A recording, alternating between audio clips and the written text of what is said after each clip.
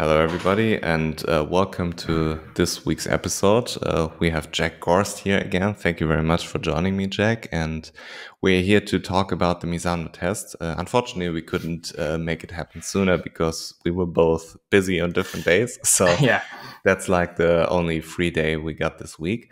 So thank you very much for being here again. And uh, you was at the track live in uh, Misano again, right? Yeah, I was. Yeah, cheers for having me on again. Um, yeah, was at uh, Misano, and as we know, it was a fairly interesting one, should we say? Uh, yeah. Obviously, the the big topics, and even like the whole Misano weekend. Um, we all know the the stuff around Marc Marquez, and I think everyone was changing their mind about every five minutes with whether he was going, staying, whatever. Um, it's been a bit chaos, shall we say, the last week or so. Before we start with the actual test, what did you make out of the race and especially like Pecco and Bezzecchi racing injured, going onto the podium, Dani Pedrosa and P4, and all this madness that happened there in different ways? What did you make out of it? Yeah, obviously the races weren't exactly uh, classics, were they? Um, I think Jorge Martin was he had like a little step on everyone all weekend, but as you say about Bezzecchi and and Bagnaia riding injured, like I mean, to be honest, I even in my fantasy team, I took Bezzecchi out because I thought that after 10, 11, 12 laps, he would start to really suffer because he said that his before the weekend, his hand was like really sore. Um, and even like Pecco, Pecco was unbelievable, wasn't he? Um, it was kind of weird. Like from the first practice, like I went down to pit lane and got a video of him walking onto the bike um, just to put on stories. And like he was obviously like really, really struggling. And then you saw him on the Sunday when he was just walking over to the grid after probably going back to the garage for a quick chat with his engineers before the race. And like he was walking better than he was on the Thursday after doing however many laps of Misano. So, um, yeah, obviously the races at the front weren't that amazing. Uh, but Dani Pedrosa obviously added the main highlight of the weekend, didn't he? Um, I think it just shows well, obviously, we all know how class Dani is, but also it shows that when he retired at the end of 18, um, yeah, I think really he wasn't done. He was just kind of done with maybe where he was, you know, kind of. He probably more than anything needed a change rather than retire, but also, you know, if he wanted to retire back then, he wanted to retire. He made the made the right choice. So, but yeah, in- incredibly impressive anyway. Yeah, we had uh, a discussion if uh, Dani Pedrosa was just born in the wrong era and we never really appreciated him because he was racing against Stoner, Rossi, Lorenzo, Marquez and couldn't really shine. And if he was racing in today's era, if he was like 10 years younger, he would smoke everybody. So what's your take on this? Um, obviously, if he was 10 years younger, he'd be going and winning races. But also if he's 10 years younger, like, I mean, what are we? 2013 was obviously when Marc first came in and Dani Dani missed out on the 2012 championship, didn't he? Because he had a, a, big crash. Um, yeah, I mean, if he was 10 years ago and he was riding like how he was 10 years ago in today's field, obviously he'd be right at the front fighting for race wins. But I don't think you can take away or underestimate just how good the guys at the front are. Obviously, like if Pecco or Bezzecchi were 100%, they would have been quicker and faster than what they were. Uh, and for them to be that fast anyway, like particularly around Misano with both of their injuries, like Bezzecchi with his hand, was it? I can't remember now if it's left hand or right hand, but anyway, there's a lot of direction changes. Like he's always pulling on the bike. Um, it's going to be pretty painful, and like you know, he's going to have to just kind of bite the leather band and really go for it. And the same with Pecco. You use your legs more than your arms to ride a MotoGP bike or to ride any sort of bike. So the fact that he was doing it with a knee that literally got run over by a 157 kilo KTM like four, five, six days beforehand is uh, pretty impressive. But no, obviously, Dani, if he was racing nowadays in his prime, like in his kind of late 20s to kind of 30 years old, for sure, he'd be, he'd be fighting for a championship. Yeah. And that's you you said something very interesting what i was about to say like Pecco has a leg injury so usually you ride the motorcycle a lot with your legs and your hips and uh, try to turn it he had to change it uh, a lot to riding more with his arms and i would assume with marco Bezzecchi it's quite the opposite when you have a hand injury I don't know exactly what hand hand injury it is and what uh, kind of limitations it uh, provides for him. but uh, it has to be very different. Like use more of your lower body, more than you even do before, and try to uh, put as less as, as, less pressure on the hand as you uh, can do. So yeah, exactly. Like both of them would have had to adapt their yeah. style and the way they ride. I think Bear's like obviously with his hand, it's maybe not so bad uh, in some corners than others. Obviously, you put a lot more pressure on your inside hand when you're leaning left compared to if you're leaning right and say your left hand's injured, you won't put so much pressure on there. But the big thing with him, I imagine, was where it was really hurt and was breaking when it's putting all that force through the, the palm of your hand and into your wrist and obviously your forearm and all that. I imagine there he's he was probably having to squeeze a little bit harder with his legs. I'm sure his his ass and his and his legs were a bit sore more than usual after uh, after the weekend. But um, yeah, impressive anyway. Very impressive. Yeah, and Marc did actually very, very well when you compare him to the other Hondas. He was like 23 seconds uh, ahead yeah. of the next best Honda. and uh, Joan Mir really, really took a shit this weekend. I mean, it was horrendous. And which brings us like to the first topic and the big topic of the test Honda. And Marc said they have a new bike. It's completely different. You have to ride it completely different, but the fundamental problems remain the same. So, what do you know about the new bike? And maybe we can categorize a little bit into chassis, engine, aero, and yeah. So, um, in terms of the in terms of the new bike, um, mainly the things that uh, well, the biggest change is the chassis. Uh, it's Honda's what is it fourth different chassis this year, and then obviously the Kalex one. So there's been five different chassis this year. So they've obviously been working hard at, at least anyway.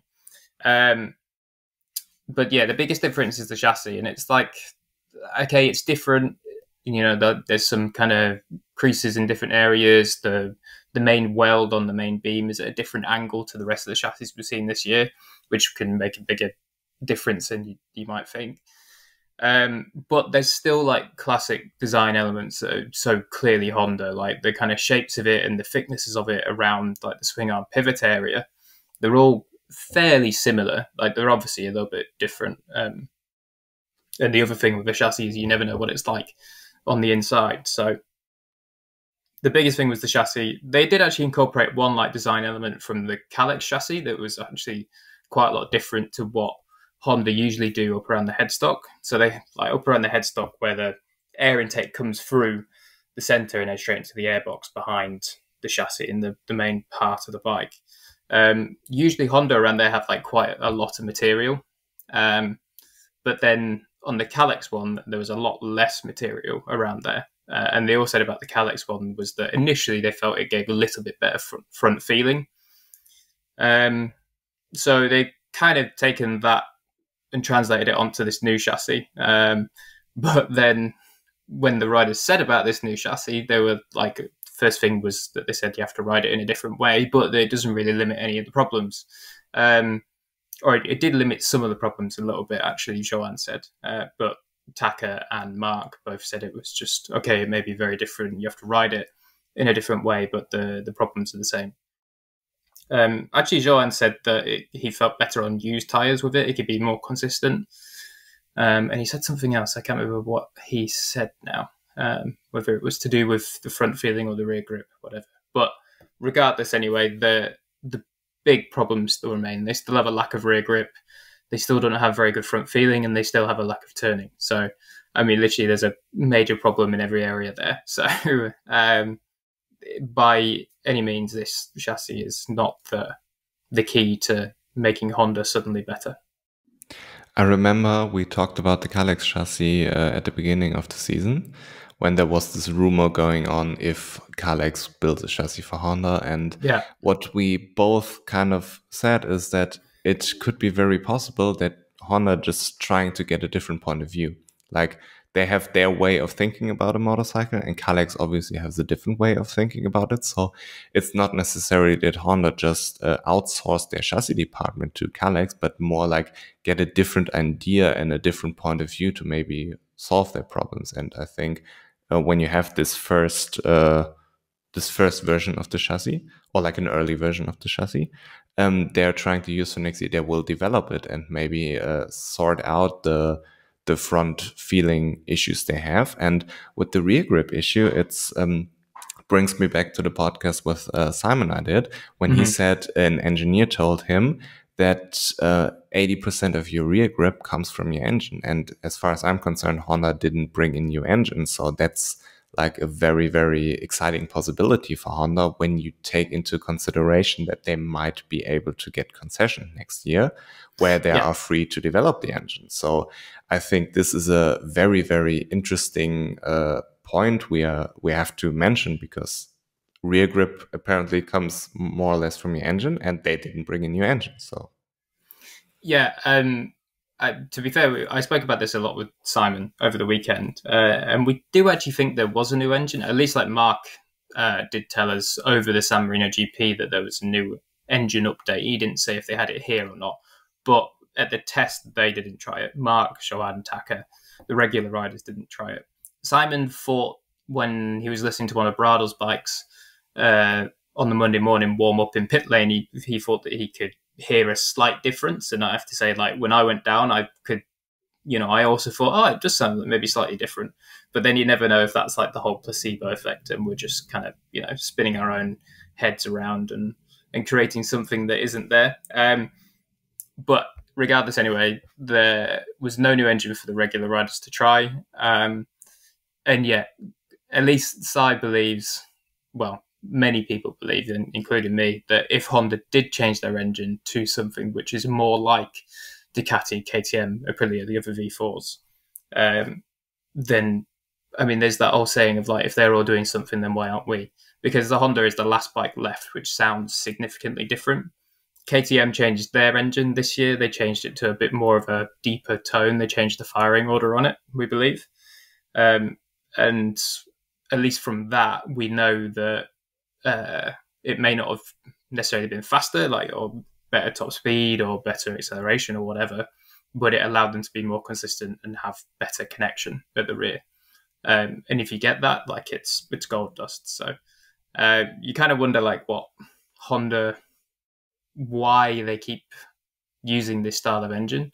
Of course, we don't know if in the background they are developing something to bring to Valencia at the end of the year. They might be, and then we're all just chatting shit. But um, for now, at least, anyway, their engine is the last one that sounds significantly different, and they're the only ones that are suffering this much with a lack of grip. I mean, there is this perception of Honda that they're quite stubborn with their stuff. So all I have to do, uh, everything has to do, uh, has to be in house. That's why the Kalex uh, thing was such a big uh, headline. And also, I've heard that Alberto Puig came to Honda with a list of engineers they should hire, and Honda said basically no, uh, we will do it our own with our own engineers. So yeah, Honda can be quite tricky in this sense. So um, it doesn't surprise me, but at the end of the day, it's such bad advertising what they're doing at the moment that they have to get out of their own way and develop an engine, especially if they get concessions. Like this would be yeah. gold for Honda to develop an engine which is more rideable because Honda is the only uh, bike that gets like on throttle high sides at regularly. So um, that's a big problem alongside with the electronics. That's like the basic thing what Simon uh, nailed it down to electronics and uh, that they are quite stubborn in many departments. So uh, let it say aero, chassis, engine, whatsoever, Honda is stubborn. And I think that if they actually get out of their own way, that they can really take this chance of maybe getting concessions. So uh, it's a very, very interesting uh, couple of months ahead of us until the 24 season starts to see what Honda is doing because um, also I've seen or read that uh, they lowered the bike and uh, made it longer to uh, make it more like a modern MotoGP bike, which is low, long, and doesn't turn so well, but has enormous braking stability and enormous acceleration. And that's the way you go fast at the moment.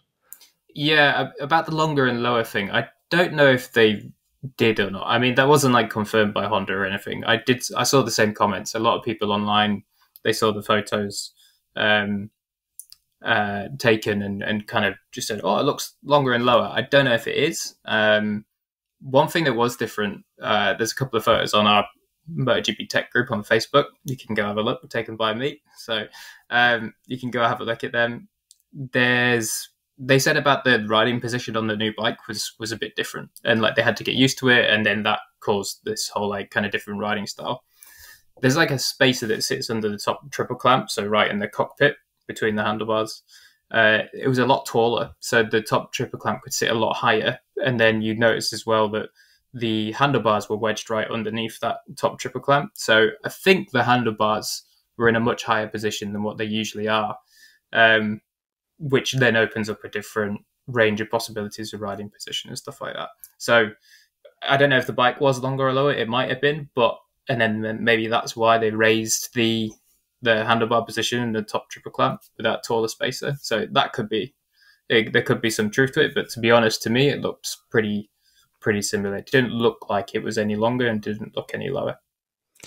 I would like to talk to you about the most boring topic in MotoGP, but I feel like we have to do it. Electronics. do you even know if Honda made some progress with the? Ele- Can we even see it from the outside? Do they talk about it? What's like the whole problem? Because it seems to be such a big problem in uh, World Superbike and uh, MotoGP because apparently they have more or less the same electronic system and rule set, so they're more or less doing the same there. And um, it seems like Honda is so far behind there are they making progress there? Do we even know about it? Um, I'm sure they're making progress. Like uh, you would like to think so. If they're not, then um, yeah, then it's it's not going well. Uh, obviously, for anyone that doesn't know too much about the electronics of MotoGP, it's all like a spec hardware, spec software. Um, Magneti Marelli ECUs was brought in in was it 2016 something like that. It was essentially to stop big factories developing their own uh, software and using that, like Honda used to. And Honda's software used to be amazing. It was the nuts, and it was why they were so so good, um, or a large large part of the reason why they were so so good. Uh, there's always been this kind of thing, and it's the same with Yamaha as well. Like people always say about, oh, Yamaha, they haven't quite figured out electronics. Um, and one big thing is like if you listen to a lot of the KTM stuff this year, and why KTM have made such a big improvement uh, is because they've kind of stolen some of Ducati's secrets with various engineers coming across. Obviously, Jack Miller and his crew chief, who was ex Ducati, with him at Ducati, Christian Pupulin, and they've just applied some of the electronic strategies there. Um, and it's you would always kind of think well, if they all have the spec software, the same software across all the bikes, like surely they're all doing the same stuff. But even though it's spec software, it's still incredibly complicated and detailed. So there's always like more than you know uh, more than one way to go about the job and produce the same end result. So um, sure, it, it could be a, a, big thing that Honda are just doing something fundamentally wrong with the electronics or fundamentally different. Um, but this is again why maybe Alberto Puig wants to hire some of the engineers to come in and say, "Oh, it's weird. You know, we do it this way. Let's try it and see if it works." Yeah, Simon basically uh, told me that the the software is basically still on the hands of the engineers of the electronics, but the hardware where the software is run through is spec. So yeah. you have like a frame, but how you can maneuver inside the frame however you want. So, and Ducati apparently has so much uh, progress there that nobody else is trying is even close to them except like KTM who hired all the electronic uh, engineers and funny enough I was um, I was cleaning the house today and uh, my girlfriend's very sensible on, task of you yeah yeah my girlfriend's at the university today so uh, I took the free uh, the free day to make laundry and uh, clean the kitchen and all of this stuff. And I was listening to the Motorsport Republica podcast, uh, and it's a great podcast to listen to. And they have like a guest on, I forgot his name, some Australian dude, and they were talking about Jack Miller leaving uh, Ducati for KTM. Mm-hmm. And in my opinion, letting Jack Miller go was from our point of view now a big mistake, not because Jack Miller is better than Enea Bastianini or better than Jorge Martin or whatsoever, but he took so many engineers with him. And because of this move, I would I would assume if Jack Miller stayed with Ducati, a lot of the Ducati engineers would stay with him. And uh, KTM wouldn't be as good as they are now. So from this point of view, I think the loss of Jack Miller is very, very uh, big for Ducati. Not because Jack Miller is the next champion. Like Yeah. Pecco's the number one rider, that's clear. And Yeah. I would argue that Jorge Martin and Bezzecchi and uh, Enea Bastianini are better riders than Jack Miller is. But the whole package Ducati had last year with the engineers, with the way the team was set up, where there was a clear number one, clear number two. I remember us discussing about Enea Bastianini and uh, and um, Pecco after the Portugal test before Mhm. everything with injuries went down. So I think in this regard, it was a huge mistake to let him go because now KTM closed the gap with the electronics so much because they had all the Ducati guys. And I think the way to go for Honda and Yamaha would be uh, to do the same, like hire some engineers who know what they're doing with the electronics and get out of the way of figuring everything out by yourself. Yeah.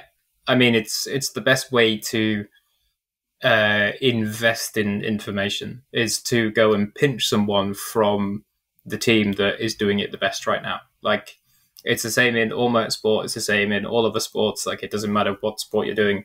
Um, I, I mean, we talk about let's use motocross for an example. There's uh, a very very successful trainer, one of the most famous in the world, called Aldon Baker, who actually used to be Nicky Hayden's personal trainer um, in 2006 when he won his championship. Aldon Baker has this like whole setup in motocross and supercross where he's trained champions for years and years. He's worked with uh, Ryan Dungey, with Ryan Villopoto, all these like massive motocross champions. And so many people go and join Aldon's program, and they join Aldon's program because they know it works. Um, and it's the same kind of thing as you know, a MotoGP engineers pinching information from someone else. They look at a motocross racer looks at, you know, say back when it was Ryan Villopoto and he was winning his four Supercross championships in a row. Someone's like, oh shit, I want a piece of that action, so I'm going to go join Aldon's program, and they do the same. Uh, and for some it works, for some it doesn't. But for MotoGP, in that sense, obviously you know that if you take an engineer with all the knowledge and expertise of that current winning motorcycle, you absolutely have the tools to then apply it to yours. It's just you have to allow that person to be able to input their ideas. Um, and that is, if Honda do manage to secure some big name engineers, that's what they're going to have to do. Because you, you talk about, you know, whether Honda is stubborn and, and all this sort of stuff. I think it's a lot of it is like pride in their own work, which you can't fault them on. Honda are the biggest motorcycle racing manufacturer on the planet and the most successful. Um, so obviously, there's always going to be that kind of like, you know, they've got to swallow the pride type thing and be like, shit, we're right now we're not the best. We have to actually listen to someone else. So you hope that if they do manage to do that, um, they just let them not give them free reign because of course you can't give anyone full free reign, but that they listen to them, take their ideas on board, and really allow them to take those ideas and run with them especially when it comes to something like electronics or the engine. Because when you see a Ducati bike, you can more or less, when you have a smart uh, couple of engineers, you can more or less understand what they're doing in the aero department or what they're doing like with ride heights and what they're doing with uh, bike length and all of this stuff. You know, that's quite easy to understand but it's not easy to understand what they're doing in the electronics department because No. you can't see it.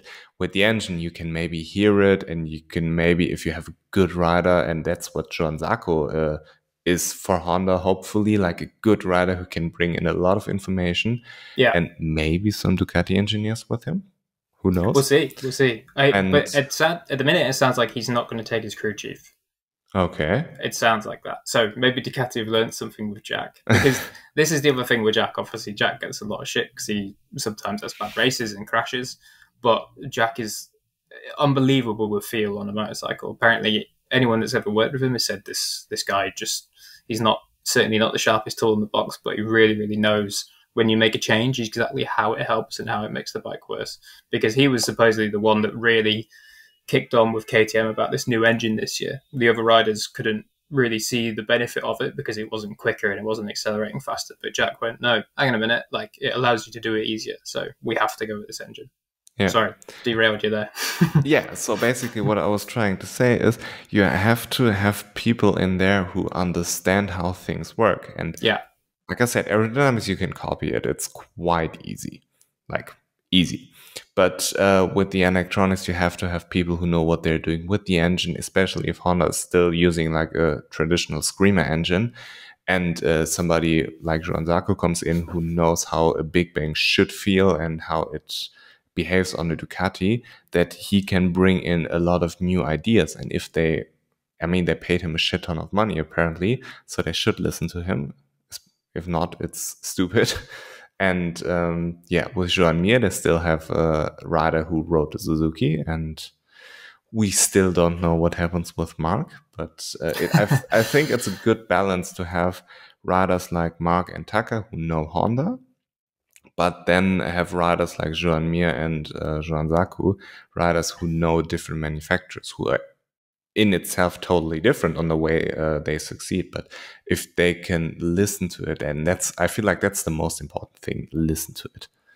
Yeah for sure. Um, and i'll touch on taka as well because obviously taka is like a lot of people question why taka is still there but taka does a good job and also crucially he speaks the language and can directly communicate with the hrc engineers. And obviously that's something that the European factories don't have to contend with. Generally, everyone in Ducati or Yam or um, Aprilia or KTM speaks a good level of English, so it can be straight across the board. There, it doesn't really matter who your riders are as long as there's that understanding of English. But with the HRC engineers and Yamaha's engineers, it really helps when you have that that one rider that locks in and can speak the language the last thing about the new Honda bike I would like to ask you. They introduced a new set of aero, which looks a lot like Ducati. And uh, what are the benefits of the aero and are they using like a ground effect thing? What's this thing on the side? Because it looks like some sort of ground effect thing, but then on the other side, it looks like they don't fully commit to it like Ducati and KTM and Aprilia are doing.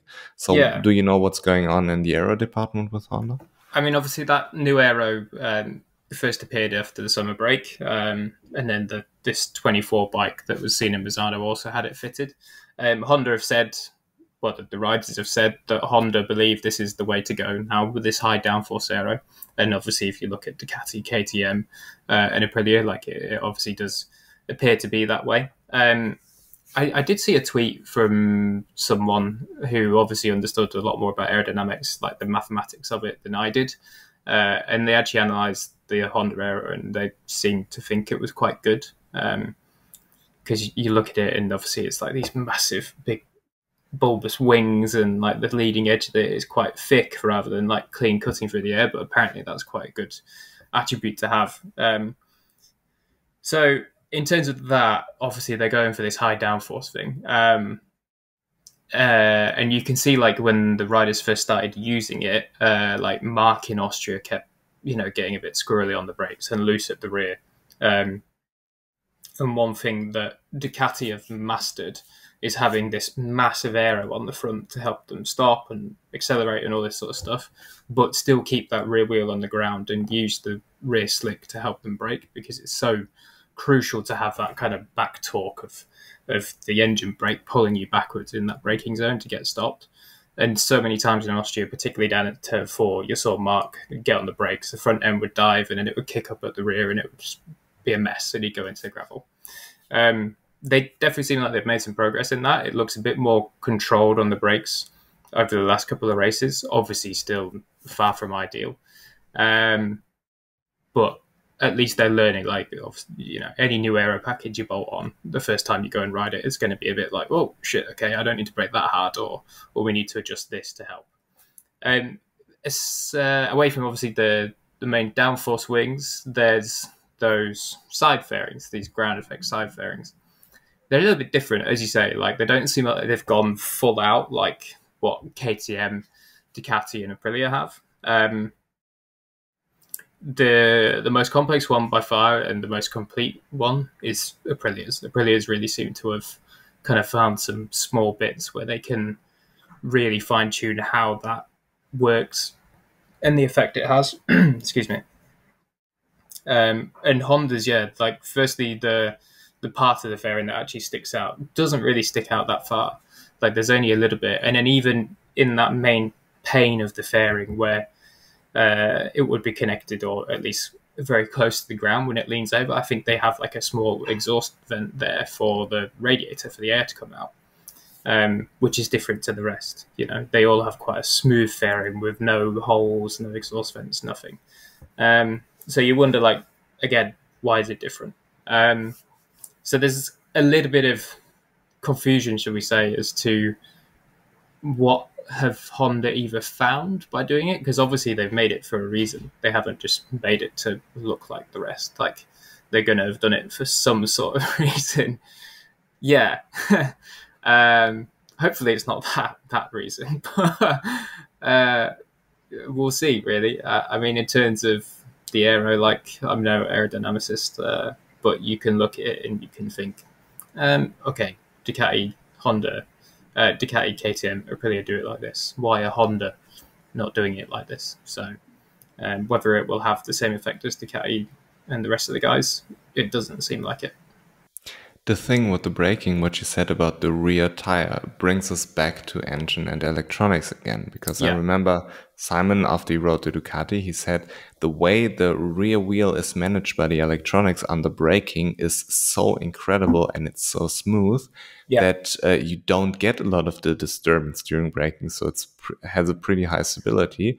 Uh, so that again shows us how things are working together on a motorcycle. Like you can have the best aero package, but if the engine isn't working and the electronic isn't working, then it doesn't uh, have any benefit to have good downforce at the front. So I think with the new engine, they will uh, solve a lot of these problems. At least I hope so. And um, yeah, with the electronics, we talked about this. But do you think with the new aero package, Honda has a better front feeling? Uh, hard to know. Um, I mean, what they will have is more load on the front. Um, and Honda have constantly said that we're struggling from a lack of feeling, and at, at times they've said a total lack of feeling with the front.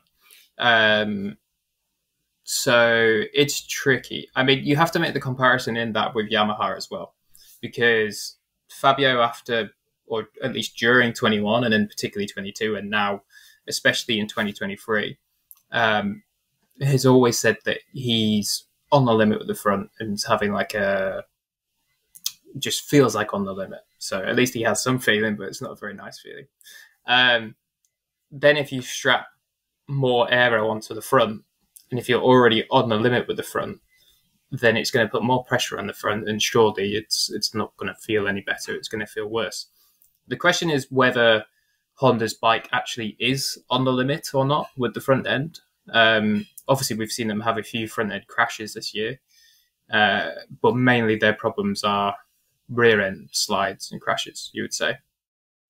Um, so I don't know. It's it's tricky to say if they have a better feeling with the front because for one, every time you talk to a Honda rider, they just say they have no feeling, regardless of if it's with the big aero or with the lower aero.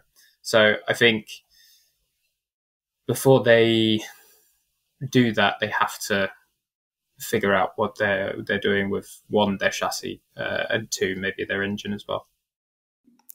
Yeah, I'm quite uh, interested to see because Honda has really nothing to lose and so much to gain. And this brings us to like the last Honda topic about Marc Marquez. um, basically, nobody does, knows anything. Uh, what I've heard is that he has the option to go to Gresini. And like there were even speculations about him buying the team, which yeah, apparently yeah. isn't uh, realistic because I don't think uh, will sell. That's like the whole point of it, of my argument, because they have uh, been close, closely linked with Aprilia for so long, and now finally got their own independent team back and now uh, to sell it after two years is and two successful unlikely. years as well. Yes, especially yeah, yeah. since they're they're yeah. having success. I don't know what their financial status would be. That could be a reason to sell, yeah. even if they don't want to. But um, I have no idea. But I've heard that uh, Honda or not, not Honda, Marc could take his sponsors with him to Gresini, like Repsol, like Estrella Galicia, like uh, Red Bull. That could be uh, interesting, but I've also heard that those sponsors want him to stay at Honda and uh, not go to Ducati and ride out his contract. So um, yeah, with all of the speculations, obviously you're not in Marc's camp. I'm not in Marc's camp. We don't know. Yeah. But I would like to hear what's your guess there. Um, so all weekend in Misano, when you know you saw uh, articles coming out from really, really credible sources and credible journalists in the paddock saying that yeah, this Gresini deal with Marc is on. Like it seems like it's going to happen. Uh, I, I wasn't convinced like, all weekend. It just seems odd to me why Marc. Well, obviously the reason why Marc would leave is because he'd go and have a better bike, and there's the added benefit where he joined his brother. So it's like you know he's, he's kind of going into this kind of family team almost. So there's a lot of benefit for the situation for Marc. What we know about Marc Marquez is one, he's very very loyal. Like he's a Honda till he dies, man. Really, like he's always backed Honda. The good times, the bad, he's still backing Honda. Obviously, now it seems like there is genuine options on the table with him saying during the test that he has option A, B, and C. Obviously, didn't state what those options are, but we'll see. And even you know, we might even find out next weekend in India. We'll we'll see. But yeah, like I, I wasn't convinced all weekend until he said that at the test about that he has option A, B, and C. Then for like maybe six hours, I was convinced, and then Tuesday morning, I was back to being like, nah, I don't think he's going to leave. Um, he's very loyal, and it just I can't wrap my head around Marc Marquez being in a fourth rate Ducati team. Like, it just doesn't seem, it doesn't compute for me. It doesn't seem possible. And like, whether that's just me being a bloody idiot, like, a course, Marc would go to a better bike, regardless of whether it's a fourth rate Ducati team. It just, I don't know, it just doesn't line up. Um, it's one of those ones where it almost kind of leaves me speechless because I just don't know what to think about it. Um, but yeah, I mean, it, it would be a sensational move. Like if, if Marc went to Ducati, you know, regardless of whether it's a year old Ducati, of course he'd go and fight for the championship. Um, many people, and that's another topic there. Like, you know, would he win the championship on a Ducati straight away? Of course, he has every chance to go and do it. Uh, and I think you have to put Marc down as the favourite, regardless of you know if Pecco's a two-time champion, just because Marc Marquez is Marc Marquez. But I do think that Marc and many people would be surprised at just how good Pecco is and how much of a hard time he'd have beating him over a season. Yes, I also don't really believe the Gresini thing for more or less the same reason. I always thought Pramac. Pramac has a free spot. Pramac has uh, is a satellite team, and apparently in Marc's contract there's a clause Yeah, that he can't go to a different factory team. I don't know how you could argue that Pramac is still a factory team because he gets the GP24. If Honda says no, you can't go to Pramac, maybe Yeah. there's some discussion behind closed doors. I could definitely see this. But um, yeah, more or less the same. I think Marc is very proud of what he accomplished. And I think he's obsessed with the ninth and maybe tenth title because I think he won. He can't retire with eight titles when Vale has nine. I think that's he's a madman in this sense. yeah, So um, I could definitely see him going to a Ducati where he thinks he uh, he can win, even if it's not the factory bike. But I think he Mhm. still wants the GP24. And that brings us to uh, Paolo Ciabatti saying there will only be four, and those four bikes will be factory and Pramac. So Bezzecchi won't get one. Yeah. And I still question the value Marc Marquez brings to Ducati.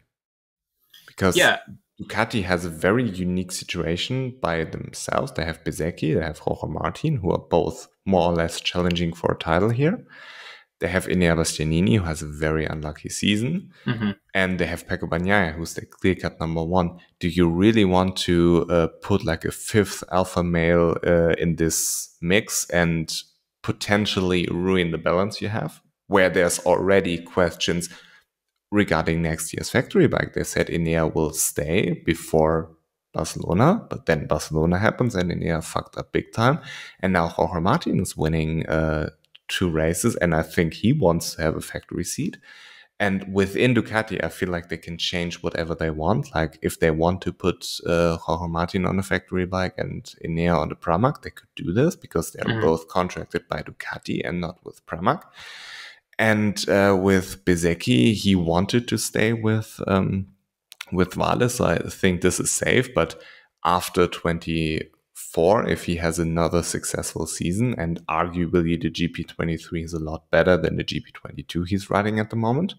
So, especially with the GP22 engine, um, we talked about this a lot after Malaysia. I think there's also a lot of potential there where the balance inside Ducati could go sideways really quickly with those four riders and then put Marc Marquez into the mix. I still don't know if I would do it if I'm Ducati because I have nothing to gain but everything to lose. Yeah. What's the point? I mean, Pecco will probably win next year's championship as well. And yeah. if he doesn't, Jorge Martin, uh, Enea Bastianini, or um, or Marco Bezzecchi, that's the fourth. I forgot for a second. Will win. I mean, it's highly unlikely Pecco, uh, Pedro will come in and win the championship uh, at first. So I yeah. think uh, Ducati has everything to lose, but nothing really to gain here. And that's why what I would uh, think if I'm Ducati, like, what's the benefit of signing Marc? Yeah, yeah, I, I agree. Yeah, I, I don't think for one they, they don't need him, and they've said that Marc Marquez isn't in our interest at the minute. Obviously, the Pramac seat is that is controlled by Ducati. Ducati have the say over the riders. Gresini seat is Gresini have the say. So there's obviously there there's a bit more speculation. And if you're Gresini, like you're lapping this up because it's amazing PR for Gresini Racing. The fact that they could even be associated seriously with taking on Marc Marquez, like it's just massive validation for the team. Um, but yeah, I, I entirely agree. If Ducati, like say this was at the end of 2019, um, you know, and for a third year in a row, Dovi had been beaten by Marc or whatever. And well, let's say at the end of 2019, Marc and Honda were in this shit situation then. And Ducati hadn't won yet. Of course, then Ducati would be much more interested in taking Marc Marquez because they hadn't won yet. But they're winning now. They don't need him. They have Pecco, who's phenomenal rider and like bizarrely underrated as well. Um, and then you know Jorge Martin is doing pretty well now. He's more consistent than he ever was before. Still needs to find a little bit to go and fight for a title, I think. But I mean, he's right there. Then Marco Bezzecchi, Enea Bastianini when he's fit and gets used to the new bike is going to be winning races. Absolutely. So it's like, yeah, why would you risk kind of alienating one of them or all of them to take Marc Marquez? Yeah. Also, Simon had a very interesting point. If Marc leaves Honda, then this could spiral down into Honda leaving MotoGP. And does Ducati really want to have MotoGP without Honda? Because his point basically was for you to win something, whatever it is, it's a better feeling if you win it against good competition. Yeah. And Honda being in MotoGP no matter the status of Honda at the moment, but Honda is a big brand. And if you beat Honda, that's something, you know? And if there's a world where we only have KTM, Ducati, and Aprilia in MotoGP, all of a sudden it's not the same feeling anymore. Yeah. So this is something Simon brought up, and it's a very interesting point to think about. Yeah, I mean, I agree. Like, obviously, if you win against the best, it feels so much better. Um, yeah. I, I you know, I'd like to think I'm a bit of a Honda fanboy anyway. Like my dad always worked for Honda and stuff, so I'm not necessarily a Repsol Honda fanboy, but I love HRC. So, um, yeah, I don't think Honda would ever leave, even like regardless of how bad it gets. I mean, I think it would have to get even worse than now for Honda to really leave. you know, there's that whole classic phrase that obviously, you know, without racing there is no Honda. Sorry, excuse me. Um, but you know, okay, say if it does get even worse, you know, Marc Marquez does leave. and next year we have, I mean, who are you going to have on the, the factory bike next year? Joan Mir and Johann Zarco, or maybe Iker Lecuona comes in from World Superbike. Like, If that I happens, think- Honda will be pretty anonymous next year, Yeah. unless the bike is significantly better, and that is a disaster for them. Yeah. I think it would be Johann Zarco. Um, if I was Honda, I wouldn't put Iker yeah. On there. So, No, like you just wouldn't be able to. so yeah, short and simple. What do you think uh, will happen with Marc? Will he stay or will he go? Uh, he stays. Okay. Yeah. And regarding KTM, we talked a little Mhm. bit about KTM. There's this big thing with the carbon fiber chassis, and I would like to like mix Aprilia and KTM into one there because there have been those rumors for Aprilia for a long time that they're bringing a carbon fiber chassis. And it's particularly interesting because you can do so much with carbon fiber. But then again, Ducati failed miserably doing this during like the Valentino Rossi era where he went uh, to Ducati and then Gigi Dall'Igna uh, came in 2014 and basically built the whole project there. So uh, it's quite interesting if they are going down the same path and maybe ruining all the progress they have, or in the last 10 years they have learned so much uh, about carbon fiber and all of this stuff and maybe even learned from Ducati's mistake, even though Aprilia and KTM weren't Yeah. in MotoGP at the time, that they can actually pull it off and they maybe like uh, a, s- a, a switch in the power balance, you know, or a change in the power balance where with the carbon fiber chassis you can do so much. And yeah, what do you know about Aprilia's and KTM's carbon fiber chassis? What are they trying? What are the benefits? What are maybe the disadvantages? Um, well, for Aprilia, not so much because we thought we were going to see it there at the test, but it actually wasn't there. Um, it wasn't? No, Didn't uh, Savadori test it in uh, Australia? Uh, in Austria, I'm sorry. Uh, I'm not sure. Don't don't know.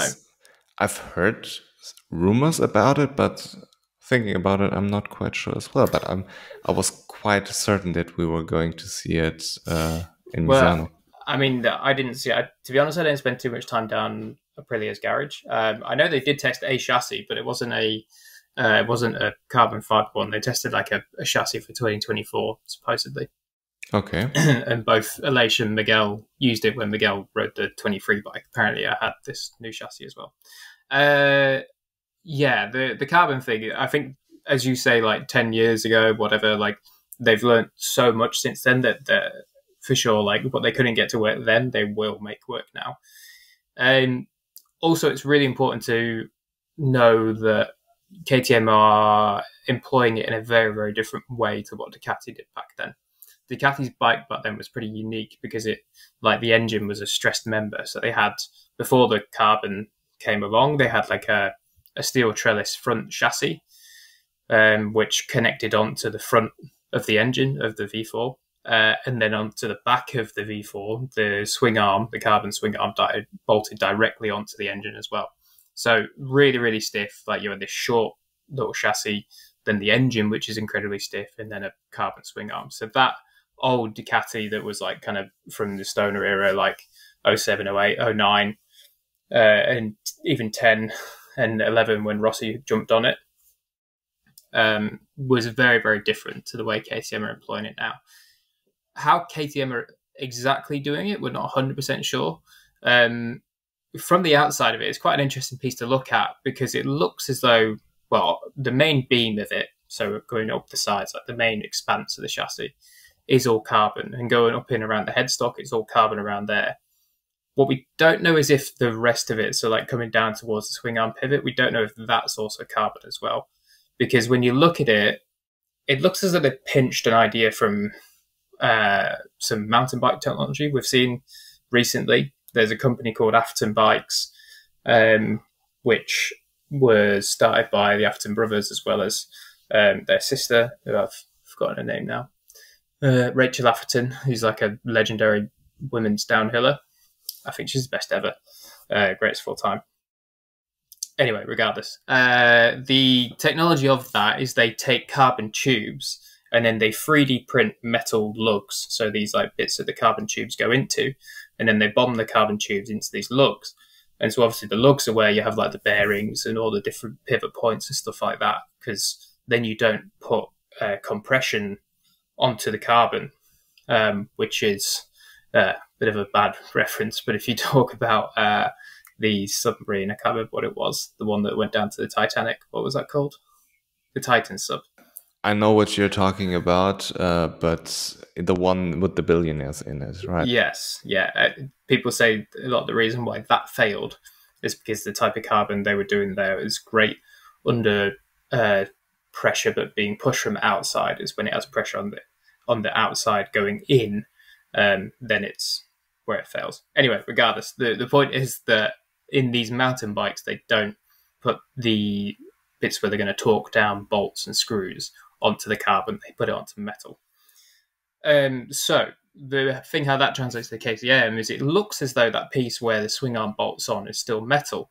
We don't know if it's like all carbon and it just has like a metal sleeve on it that just to protect it, so it, it you know the the swing arm tightens down onto metal or whatever. We don't know, but it seems as though it's a full carbon chassis. Uh, the benefits one for sure it's lighter, particularly in KTM's case because they were using steel.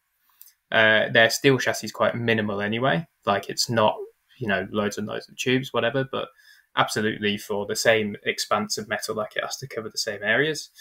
Uh, the carbon chassis will undoubtedly be lighter. Um, not a big deal because obviously MotoGP bikes have to be 157 kilo max anyway, and I'm sure that KTM's is, you know, to that limit or some kilos below, so it doesn't really matter.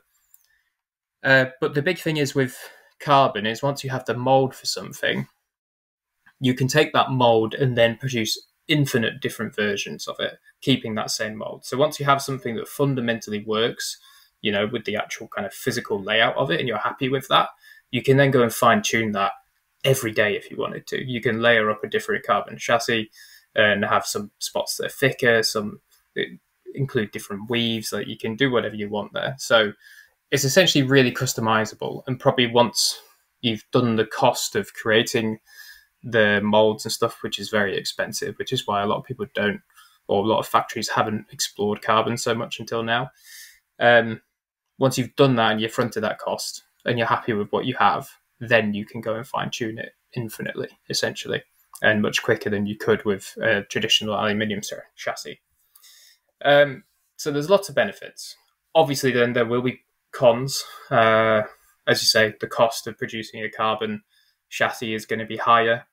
Um, it's a new technology, not not a new technology, but it's new in the in the world of racing motorbikes. You know, uh, so they're going to have to find out like what layering works the best for which characteristics they want from it. But I mean, out the box, like Pedrosa ran it all weekend and finished fourth in both races in the most competitive MotoGP field we've ever had. So it clearly works. Um, so yeah, it's quite a interesting piece. Yeah, uh, quite a cool thing. I may sound stupid, but I actually don't know. Are Formula One cars kind of do they have a frame like a motorcycle? I don't they... know shit about Formula One, so please please excuse me. But do they even have like a frame? Because the the thought I'm having right now, KTM and Red Bull are closely linked, and there were a lot of talks about uh, Red Bull aerodynamicists coming over from Formula One to help KTM and MotoGP. So the thought here, if indeed there's like a similar concept which is working for Red Bull in Formula One, and they have like a lot of knowledge there, why not just transfer this uh, knowledge yeah. to KTM? Like, is this possible? Is this or is this like totally to, to, two totally different worlds? No, that's a great point. Actually, I hadn't thought about that. Maybe this is where this idea has come from. Um, yeah, really good point. In Formula One, at least from what I understand, they have like a carbon monocoque, uh, which is essentially like your, your chassis or your frame. Um, and then everything bolts onto it. So like onto the carbon monocoque, the engine bolts on and etc. etc. Um, so yeah, they would have a lot more experience. This the people from Red Bull Advanced Technologies, which obviously work for the more F1 side, they'd have a lot more experience with like structural carbon components, I guess. So yeah, it could well be that this frame is as a result of collaboration between you know MotoGP KTM engineers and the Red Bull Advanced Technology F1 engineers. Yeah, good point. Interesting. And uh, did KTM bring anything particularly new to Dani Pedrosa's bike except like this carbon frame? Uh, no, it was just that frame by the looks of it, at least anyway. Uh, I'm sure behind the scenes there's a lot more other pieces and probably, you know, on the bike there was maybe some things that we didn't notice, but the only other thing was Dani had a different uh, top triple clamp. Um, so just in between the, the handlebars for anyone that's not too sure or too familiar. Uh, and that was actually carbon as well, um, which is usually, well, well, all the time anyway, you see those are aluminium pieces. Um, and the carbon one that KTM had was incredibly thin. Um, so yeah, that's obviously again, you know, the same vein as this carbon chassis. They've also made this carbon triple clamp. Regarding uh, carbon, there I've read something on Twitter that there's uh, the problem. Like, quick story time. My dad always uh, told me to never buy a carbon road bike not because they are not good or anything. That's not the point. He said if you crash this thing once, you risk that there's uh, that this thing breaks and you can throw away your 5000 euro road bike and it's yeah. not worth it for an everyday man like if you ride to Tour de France okay cool do it but uh, for you to just do it as a hobby no point and i read a tweet which kind of referred into the same um, into the same direction where what do you do if you crash your bike and the carbon like there's like a small fraction in the carbon frame or whatsoever. Do you have to change the whole frame? Can you even do this during a live MotoGP session?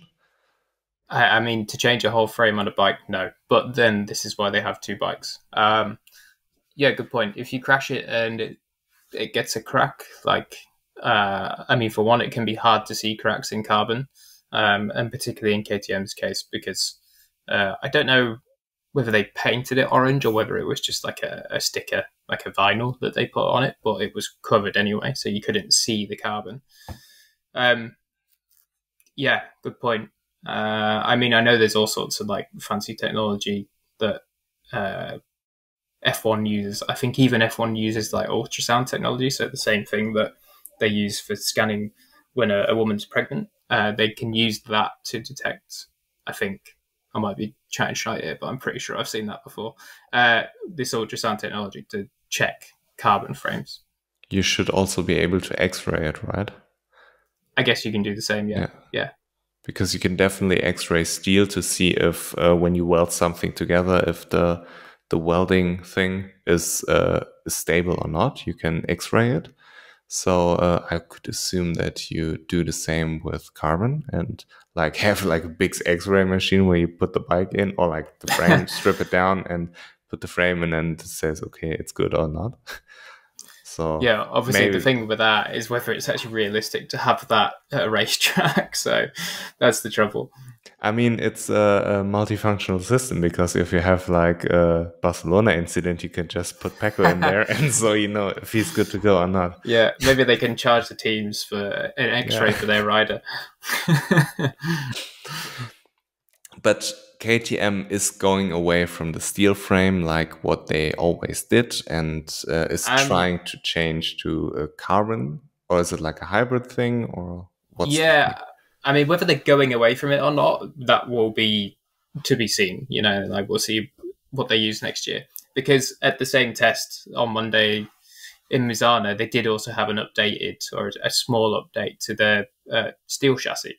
Um, Brad actually said that like there was positive and negatives to both. You know, both had good good attributes that were different to others uh, to the other. So, uh, yeah, I guess it's one of those things where okay, it's nice to have the carbon chassis, which weighs a little bit less, but the weight isn't an issue. So, um, I guess whichever one they, they feel better on. But yeah, yeah, it will be interesting because, as you say, like KTM have always been steel. They've made steel work in every discipline, and they're just starting now to make the steel work in MotoGP as well. And yeah. then all of a sudden they go to carbon fiber. I mean, you could just paint it orange and nobody would actually know except they're listening ah, to this podcast. Simon so, would know. Simon would figure it yeah, out. Yeah. No, but like the the public isn't as balls deep into MotoGP technologies No, as no, you and no. me and Simon are. So Yeah, yeah. it's like your, the few your average nerds. fan. yeah, Yeah, the few nerds know, but the the everyman just sees, oh, it's the same frame as on the Duke. It must work. Yeah. So Yeah. yeah. But um, where was I going? I had a thought. Fuck. ah, yeah, with the weight. Um, like the MotoGP bikes now are 157 kilos, like without fuel and oil and all of this stuff. Like, right? uh, I believe so. Yeah. Yeah. So when you build a bike uh, with a carbon frame, and let's say it's five kilos lighter, does it provide any advantage to have a lighter bike and then put some extra weight on there and maybe um, to reduce the center of gravity more towards the road, or is is there something you can do where this may provide an extra benefit, even though the Um, bike doesn't weigh less? Yeah, uh, there's definitely yeah, there's something to be explored there for sure. Like if you have a, a limit with, uh, or sorry, uh, like a little bit of wiggle room with the limit, with the weight limit, um, absolutely, like it's something to be explored there with not necessarily attaching ballast because you, you never want to add weight needlessly onto your motorcycle. But then maybe you could. I mean, like we know that Ducati has a mass damper in the in the tail unit of the bike. You know, if it was beneficial to have those weights a little bit heavier or something like that, and obviously that would add weight. It wouldn't add a massive amount because you wouldn't change it drastically by kilos. It would be by a couple grams. But again, like it's you know maybe you are not entirely happy with your weight weight distribution of your bike, and you find that oh, okay, if we have like a couple of hundred grams more on the rear, it helps us with braking and keeping the rear tire on the ground. So for sure, it would give them like a little bit of wiggle room to then go and explore some some other things. So we may be looking at a future where MotoGP bikes weigh less than 100 kilos, and uh, then they're putting just plates from the gym uh, onto onto the bottom. Yeah, and like a free bike with 300 horsepower. Yeah. this would be hilarious. But um, everything else with KTM more or less is the same. Or have they brought any new Um, um, any new aero updates, new engine, whatsoever? no, more or less the same, we believe. Um, I can't remember off the top of my head if they said they had a an engine update or not, but I don't think they did. Um, so yeah, more or less the same. For now, it's um, the big one will be obviously Valencia Valencia test where we Yeah. see the the proper first step at 24. Yeah, it's the next test then, right? There's Yeah. no test in between. And um, with Aprilia, there, I remember we talked about the new engine uh, after the Portimao test Mhm. because uh, Aprilia, funnily enough, they developed a new engine, didn't bring it to the test, but now they're running it without ever testing it before, like with Aleix and, and Vinales on the official MotoGP test. Uh, obviously, Lorenzo Savadori did, but um, they're now running this 23 engine, which they didn't test in Portugal. And we were speculating a little bit about if it's better, if it has any risks to run a to run a engine you didn't previously tested. So, what's the engine state right now with Aprilia, and what's the thing they're planning for 24? Did they bring a new engine to Misano? Um, in terms of for 24, I don't think they did bring a new engine to Misano. I think that all Aprilia did uh, at on the Monday was uh, test a slightly different chassis, uh, aluminium one. Um, but yeah, the as we spoke about months and months ago, the 23 engine they didn't test or didn't ride on the racetrack until the, the first round. Uh, but Paolo Bonora was saying, you know, like it's absolutely no problem. We've done loads and loads of miles on the dyno, and it's only a small uh, evolution compared to before. Like it's nothing crazy different.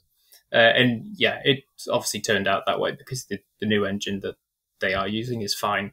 Uh, we've seen that Aprilia have probably a little bit better top end this year, but the biggest thing is actually Aprilia have really improved their rear grip uh, and like drive grip out of corners. Like now we see, and even like last year, it was the same. You go to a low grip track, and Aprilia are the ones that are really, really strong. Um, and yeah, it's the same story this year. Like we saw them get that one two in Catalunya, low grip track. Um, a track that's really tough on tires. And there was when Aleix made his move, or like a couple of laps before, when he was making his move on Pecco, I forget if it was the sprint or the um, or the Grand Prix. But no, it was definitely the sprint because Pecco was in the hospital during. Oh yeah, yeah, true. Sorry, that much has happened. I forgot about that. Uh, for the sprint, coming out the final corner, Aleix was unbelievable with the, the drive he would get compared to the Ducati, and it was like the first time you went, "Fuck me!" Like the Ducati actually has an area where it's not as good as as someone else, as a different bike. Um, so for sure, they've really improved their their rear grip this year, and that could be like as Simon said to you in in the pod he did, like eighty percent of your grip comes from the engine. So it could be that a good chunk of that increase in their rear grip has come from the engine, but then that same rear grip didn't help him in Misano because he had so much rear grip it was pushing the front a little bit. Um, obviously, Raul Fernandez had his best weekend ever, so then he's maybe found a way around it. But it might have just been that Aleix really suffered in Misano because of the way he rides a bike. That's actually something I heard about the um, the Boscoscuro in Moto 2, that they have so much rear grip that on tracks which are high in grip, that they struggle to turn the bike because you can't turn the bike with the rear so well if the rear has too much grip. So there is actually too much grip on a motorcycle. Yeah.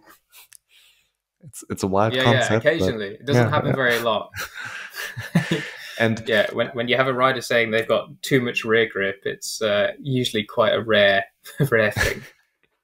yeah, and um, I just realized we kind of forgot about Yamaha because Yamaha brought a new engine, and Fabio wasn't particularly yeah. happy with it, like with the whole bike. And with Yamaha, I recently watched Brno 2020 and Brad Binder won the race, and Frankie was leading the pack for yeah for quite a while in the beginning of the race. And I realized this Yamaha kind of looks similar, like from the aero package. And Yamaha didn't really they developed something, yes, but they didn't really develop something that worked. And those big high downforce packages they ran at the test, and now they kind of went back and forth with the old one. So it's a rather strange uh, situation with Yamaha and the aero.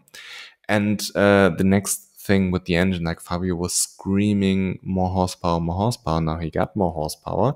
And apparently it's not better. It's arguably worse. And uh, because they don't have any rear grip. And I remember Andrea Dovizioso saying, hey, you need more rear grip. You don't need more horsepower.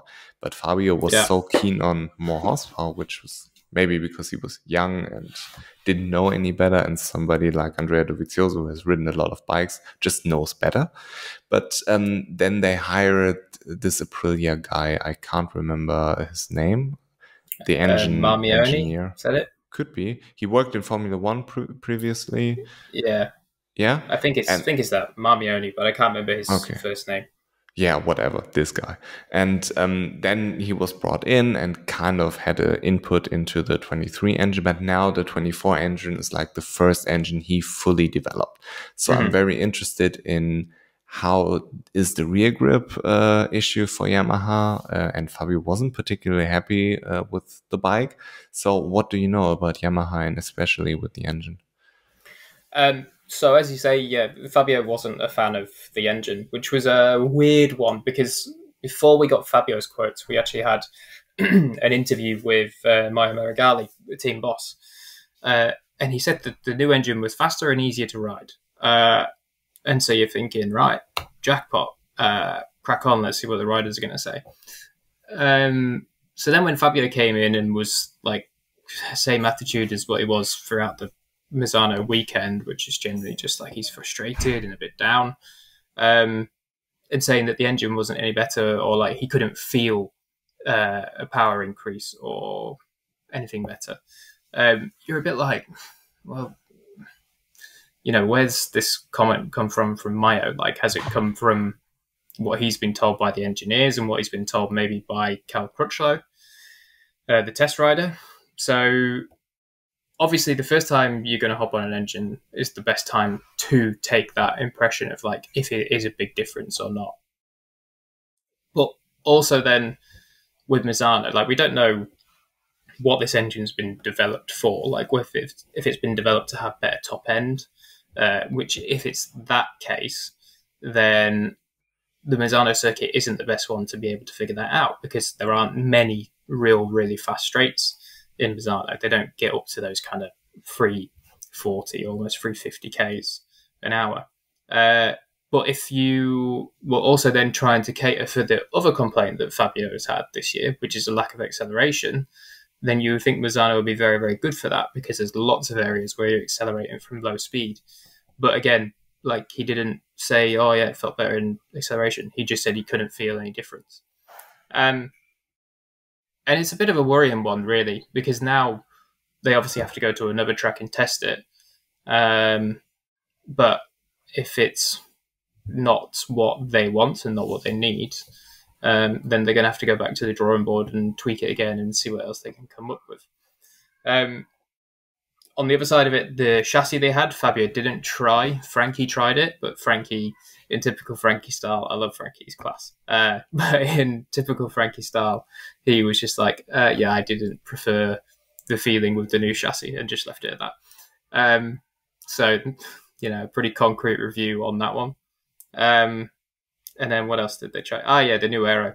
Uh, obviously, Fabio's always asking for more acceleration, and part of that is that he's always saying because we have too much wheelie, so you reduce the wheelie by adding bigger wings, and then your problem is you're you know pushing too much air and it slows you down on the straights. So when he tried the new aero, he said, "Ah, oh, you know, uh, we weren't we were slower with it, and I didn't like the feeling on the bike." And then it comes back to the whole thing of like he's struggling with the front end and saying he's always on the limit at the front end. So they bolt bigger wings on, and it creates more pressure on the front end. So surely it's not going to help. Um, so yeah, I've you know you you wonder with Fabio. There's always this trend of like he tries something new. And either he doesn't like it immediately, or he says, "Oh, it's not better, not worse. We'll try it somewhere else." And then eventually he says, I don't like it, and goes back to what he, what he's always had. So there's always this trend, like whether it's with engine spec or chassis spec. I don't know how many different chassis Yamaha have tried in the last couple of years, like four or five, and neither rider has liked them. Um, so yeah, it's a bit worrying. You kind of wonder, like, not necessarily how good of a development rider is Fabio, because we don't really know that, but you just wonder if he's already not expecting to have something that works and it's just a predisposition in his head. Yeah. I think I would agree that Fabio isn't a particularly good test rider or development rider because I think he has not the emotional stability. He has like his highs and lows and he's got better like, at that. But still yeah, obviously bit. he he got older, but still, you know, it's still Fabio. Yeah. And um, when you have this frustration over the race weekend to then jump on a new bike and be completely neutral about it is difficult. And mm-hmm. I believe Fabio is younger than me. So, I mean, yeah, yeah. Who can fault him? And Frankie did actually test uh, the new chassis. Did he also test the new engine? No, he didn't test the engine. No. Didn't I he? Thought, I thought he did, but I, I asked him and he went, no, didn't do it. so. Didn't he want it or didn't Yamaha want it? I'm not sure. Not sure. Okay. Because I was thinking about it after when you said when you elaborated on Fabio and his feeling, I was thinking about it if Frankie tested it, and because Frankie's obviously leaving, but then what has Yamaha to lose? There's nothing Frankie can take from Yamaha and present Ducati like, hey, they have this new engine. Yeah, yeah. This and then like yeah. Ducati will laugh at him if they do if he does it. and especially it's like a V4 to an inline four, so there's nothing Yamaha has to lose to give Frankie the new bike and let him test it. Exactly. So um, yeah, I was curious about this. And uh, also regarding uh, Yamaha, I think they need a satellite team so badly. They need somebody like Andrea Dovizioso or like a Johann Zarco who can has the experience and can actually develop a bike and give data because all the data they have is basically Fabio at the moment. Like, yes, they have Frankie, but yeah. with Frankie being out the door, I don't know how much and he'll be involved into the development. So basically everything revolves about Fabio for two or three years and shit is hitting the fan with Yamaha. They are incapable of providing any aerodynamics that Fabio wants or likes or provides any factual uh, advantage. Like, yes, you can have the bigger aero, but then all of a sudden your qualifying pace is gone. Yeah. And then you go back to the 2019 aero or whatsoever. So it's not necessarily a good situation with Yamaha. And I think they really need a satellite team to develop stuff with experienced riders on and also take a little bit of the pressure of Fabio because mm, Fabio is an exceptional rider, but he isn't necessarily the best test riders, and all the test riders aren't necessarily the best development riders. Like Yeah. a Dani Pedrosa scenario is very rare. Yeah, it is. Um, I yeah, I agree with you that they need a satellite team ASAP. They they needed it bloody last year. Um, but you know the yeah, as we say with the with the Yamaha, obviously if they have that satellite team, then two more bikes, double the data instantly. Um, it's very very tricky when you're obviously trying to play that game against you know KTM have four bikes, but then they have Dani Pedrosa, as you say, who's a very very good test rider and also still incredibly fast. So his data is extremely relevant. A lot of people are also quick to highlight about you know you look at other test riders, maybe like Sylvain Guintoli, who was test rider for Suzuki, and how well Suzuki did. And Sylvain Guintoli is not a Dani Pedrosa. He's certainly not slow, but he's running at you know maybe a second to yeah roughly a second off what the factory riders would have done. Um, so it's kind of like, okay, you know, from the face of it, is it as valuable as what the data Dani Pedrosa will be providing for KTM is? But again, it's just how you use your test rider. Um, the one good thing with Yamaha this year is it seems like they are using Cal Crutchlow more and using him in a better way. They're doing a lot of tests out in Japan uh, with Japanese engineers. Um, so closer to the factory, they can work quicker with the factory, all this sort of stuff. So that's positive. And also him, getting him to do another wild card is great because, as Dani said, like I can do a million laps on a test track on my own, but I don't understand how the bike truly behaves in a race situation until I'm there. So Yeah. you know, massive, massively valuable piece of piece of information. Um, one thing we should talk about is Alex Rins, eh? because he will come obviously into Yamaha next year with valuable experience to Suzuki, which he did very well on. Obviously, Honda has been a difficult year this year, but Alex has done very well on that Honda, and obviously the highlight of that was that victory in COTA. Very natural rider, one that gets on a bike and can ride around problems. Um, but also will have that experience that Fabio doesn't have of other motorcycles. Yeah.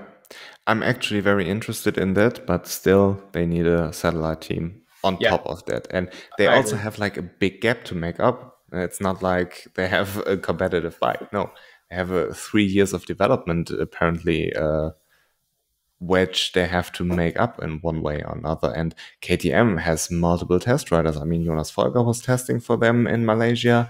Then they have Yeah. Dani Pedrosa. I don't know uh, how many test riders they also have. So maybe that could be a solution to have multiple test riders. I mean, there is this situation of Dani Pedrosa, but that's like one in a billion. Uh, you don't find another Dani Pedrosa uh, to test your bike. And Exactly. then you have somebody like Sylvain Guintoli who's not contracted to Suzuki anymore. And yeah, I mean, you have you have to have a good test rider who also fits to your the needs of your championship riders. I mean, it, Yes. it's not necessarily a benefit to have a good test rider if he has a totally different riding style than Fabio for- or Alex Rins have. So that's also something you have to really work on. And I've heard that uh, that's apparently a problem with Honda, that Honda went away from a test rider who has a very similar style to Marc.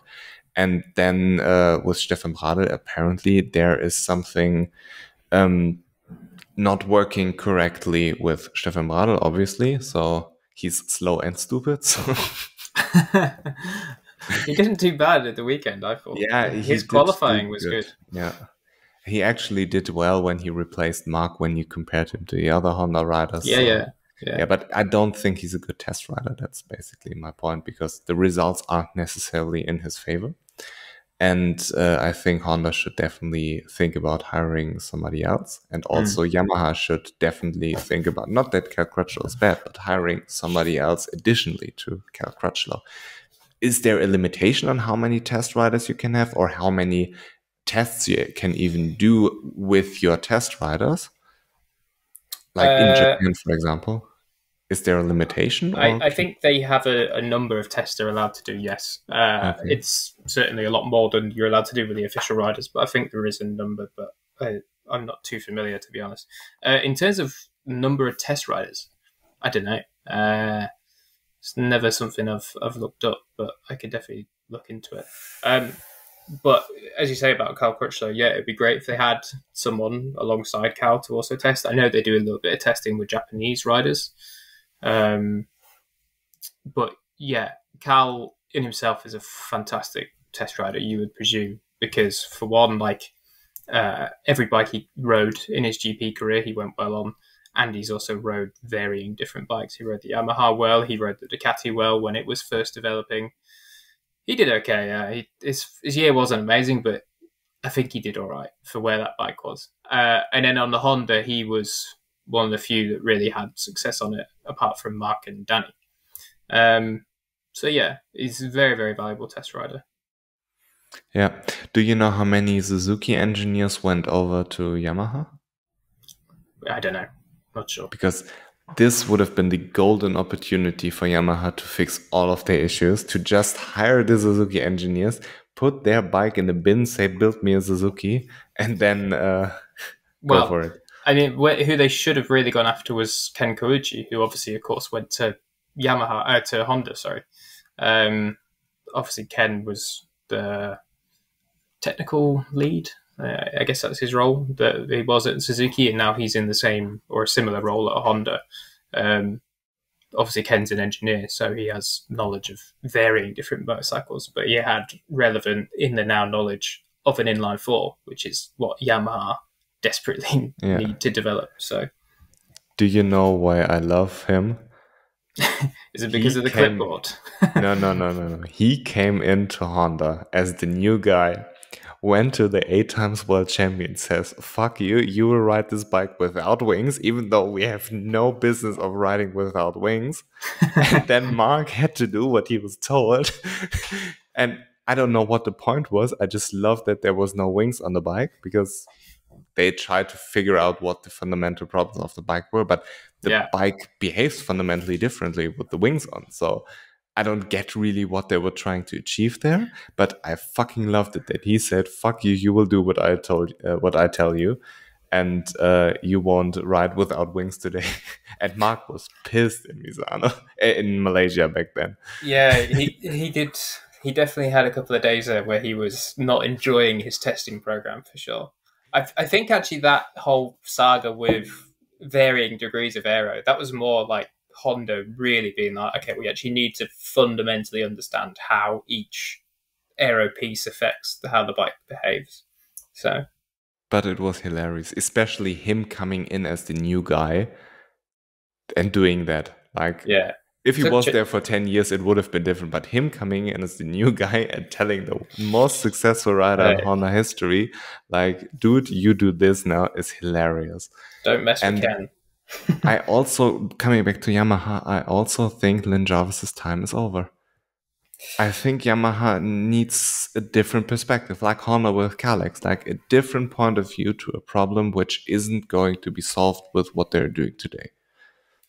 Yeah, I mean the trouble with Lin is that Lin isn't uh, involved with the technical side, should we say? Of course, he's like the team. He's the face of the team. He's, he's everyone knows Yamaha as Lin Jarvis.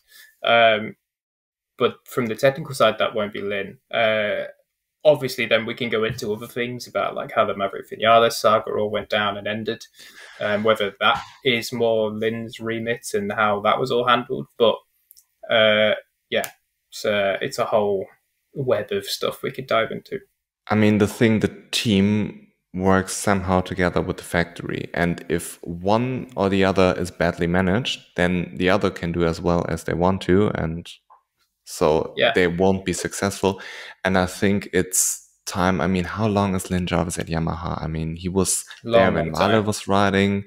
Like, when did he came to Yamaha? In the late 2000s? I believe so. Uh, no, early 2000s. Um, no, I mean him as team principal. It was then they had Davide Brivio for a period of time. Yes, they would have. Yeah, Brivio and I think after this one, yeah. So Um, mid mid two thousands, late two thousands, him as team principal, but he was Yeah. working for Yamaha previously. yes. Right. Yeah. So I think it sh- could be time to have like a new perspective on how things are run within the team, and maybe this helps the development side as well. What do you Yeah. have to lose? That's you. That's another thing. What do you have? It can't go worse. yeah, there is always that. Yeah, uh, hopefully it can only get better. Um, yeah, I mean, of course, it's all intertwined and it's all one massive ecosystem, isn't it? Uh, obviously, there's always that kind of question like how much impact can one man have? Um, but as we've seen in other things, Gigi Dall'Igna had a huge impact at Ducati, changed the working, made them change the whole structure, not just technical structure. Um, so yeah, for sure, there's a debate to be had there about whether the same thing needs to happen with Lin. But then it's only two seasons ago when they were world champions. Um, so it's I- like how how quickly can you say, ah shit, he's he's useless or he needs replacing? I don't want to call this world championship a fluke because there are no flukes in MotoGP. Joan Mir's championship wasn't a fluke. He was the best rider there. Yeah, But this was Fabio winning the world championship, not Yamaha. I mean, he should not have been there, and it, it was only because of Fabio's greatness that he won this world championship this season. I mean, and Yeah. you could also see at the end of the season that Ducati is starting to click, and Yamaha is going. It's like what like was like at the half past point of the season where you saw the trajectory of Yamaha going down and Ducati going up, and then kind of Pecco had his usual crashings, which helped Fabio this season a lot, like Mugello, like uh, Misano, and probably a lot more. I can't, re- I, I can't remember. I thought about Germany, but that was uh, 22. But Mhm. yeah, Pecco's crashing all the time. That's normal. So um, yeah, I don't want to say anything bad about this World Championship because Fabio deserved it, but Yeah, it wasn't necessarily Yamaha who won this World Championship with the best Yeah. bike. It was the rider who made the best out of it and was like the perfect time where Ducati wasn't clicking at 100%. And Fabio took all the advantage out of it and won the World Championship. So, yeah, 100% credit for Fabio for pulling it off. But Yamaha was kind of carried by Fabio and not vice versa. Yeah. no, definitely, it's it's a valid point for sure. From the outside, it it was definitely Fabio that was doing the bulk of the work. Yeah. And back then, when the Yamaha was more his type of bike, hmm like then. But yeah, that's that's a totally different speculation. But I'm very interested. Do you think Honda and Yamaha will get concessions next year? Uh, we'll see. Um, obviously, the rumors are, are saying that it looks like they might, but uh, there's some uh, opposition from particularly KTM, I believe. Um, I, I mean, it's in the championship's interest that they do get concessions because you know MotoGP has to have Honda and Yamaha competitive, and also for the spectacle, like you know, people calling it Ducati GP and whatever. I mean, if you look at the last handful of races, I mean, obviously Misano is not a great test, but um, from before that, like, okay, Pecco was doing incredibly well, and also Jorge Martin when he's on is winning races, but right behind them are the KTM's and the Aprilias. So, um, yeah, but I, I hope that they do, um, but I think they have to be careful with how they apply them. I read some news that KTM has a veto to say, no, you're not getting concessions. And Dorna is now trying to overrule KTM and giving them like uh, two slabs, uh, one after another, like you can't have six bikes.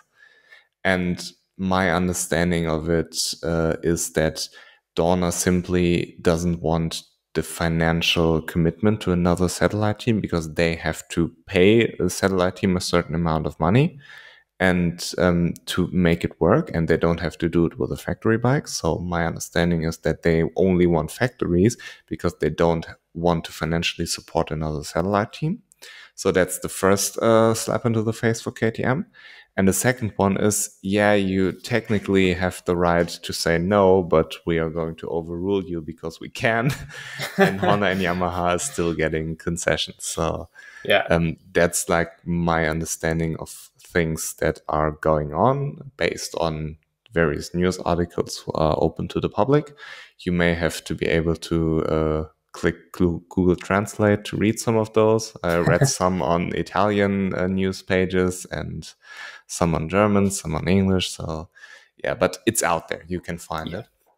So um, I'm very interested if they actually get concessions, and if so, it would be huge for Honda and Yamaha because, as we mentioned, like Honda with their rear grip issues, Yamaha with their rear grip and top speed issues, it will help them massively if they can test more yeah. and if they can develop the engine more. And is it still that they have more fuel to burn?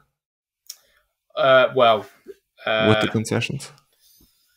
Oh, I can't remember what the the the outline is for the concessions because it's been that long since anyone had them. Uh, yeah, Aprilia had them in 22. They, they had them up until the end of 22, but yeah. after their they lost them like pretty early, didn't they? In 22. Yeah, in Argentina when uh, yeah. but they still had them for the rest of the season, right? Uh, yes, believe so. Or was it closed or was it 21? After? Like, no, it was, was 20. It was 22. 22, where Aleix won in Argentina. But yes. I, I don't know if they said you have the concessions up until Argentina, which was the second race of the season. And after that, since you won, your uh, con concessions run out. Or if it's then from 2023 onwards, like the 22 season, where you yeah. won a race, yes, uh, you can still have the concessions, but next year you can't. I don't know how the rules are phrased there. Uh, I believe it was a seasonal basis, so like it doesn't matter if they won okay. at the start of the year; they had the concessions for that year. Okay, I think. Yeah, and uh, then with the new fuel regulations coming mm-hmm. in in 2024, I believe, mm-hmm. where they have how many percent sustainable fuel? It's forty percent next year, and then hundred percent in 27. Okay, so 40% there. I don't know if they actually increase the amount of fuel you can burn then for next year? Uh, nothing's been said on that. I imagine it will be okay. the same because apparently uh, the fuels that have been developing are like incredibly similar to okay what we, we use now in terms of like power output and and, and economy and stuff like that. Okay. And uh, so it, right now, uh, my understanding is that it's 22 liters per race, right? Yeah, I believe so. Yeah. yeah. So if that doesn't change, and if let's say Honda and Yamaha are able to burn 24, because I believe this was the old rule back then. It was, but I don't think they would do that now.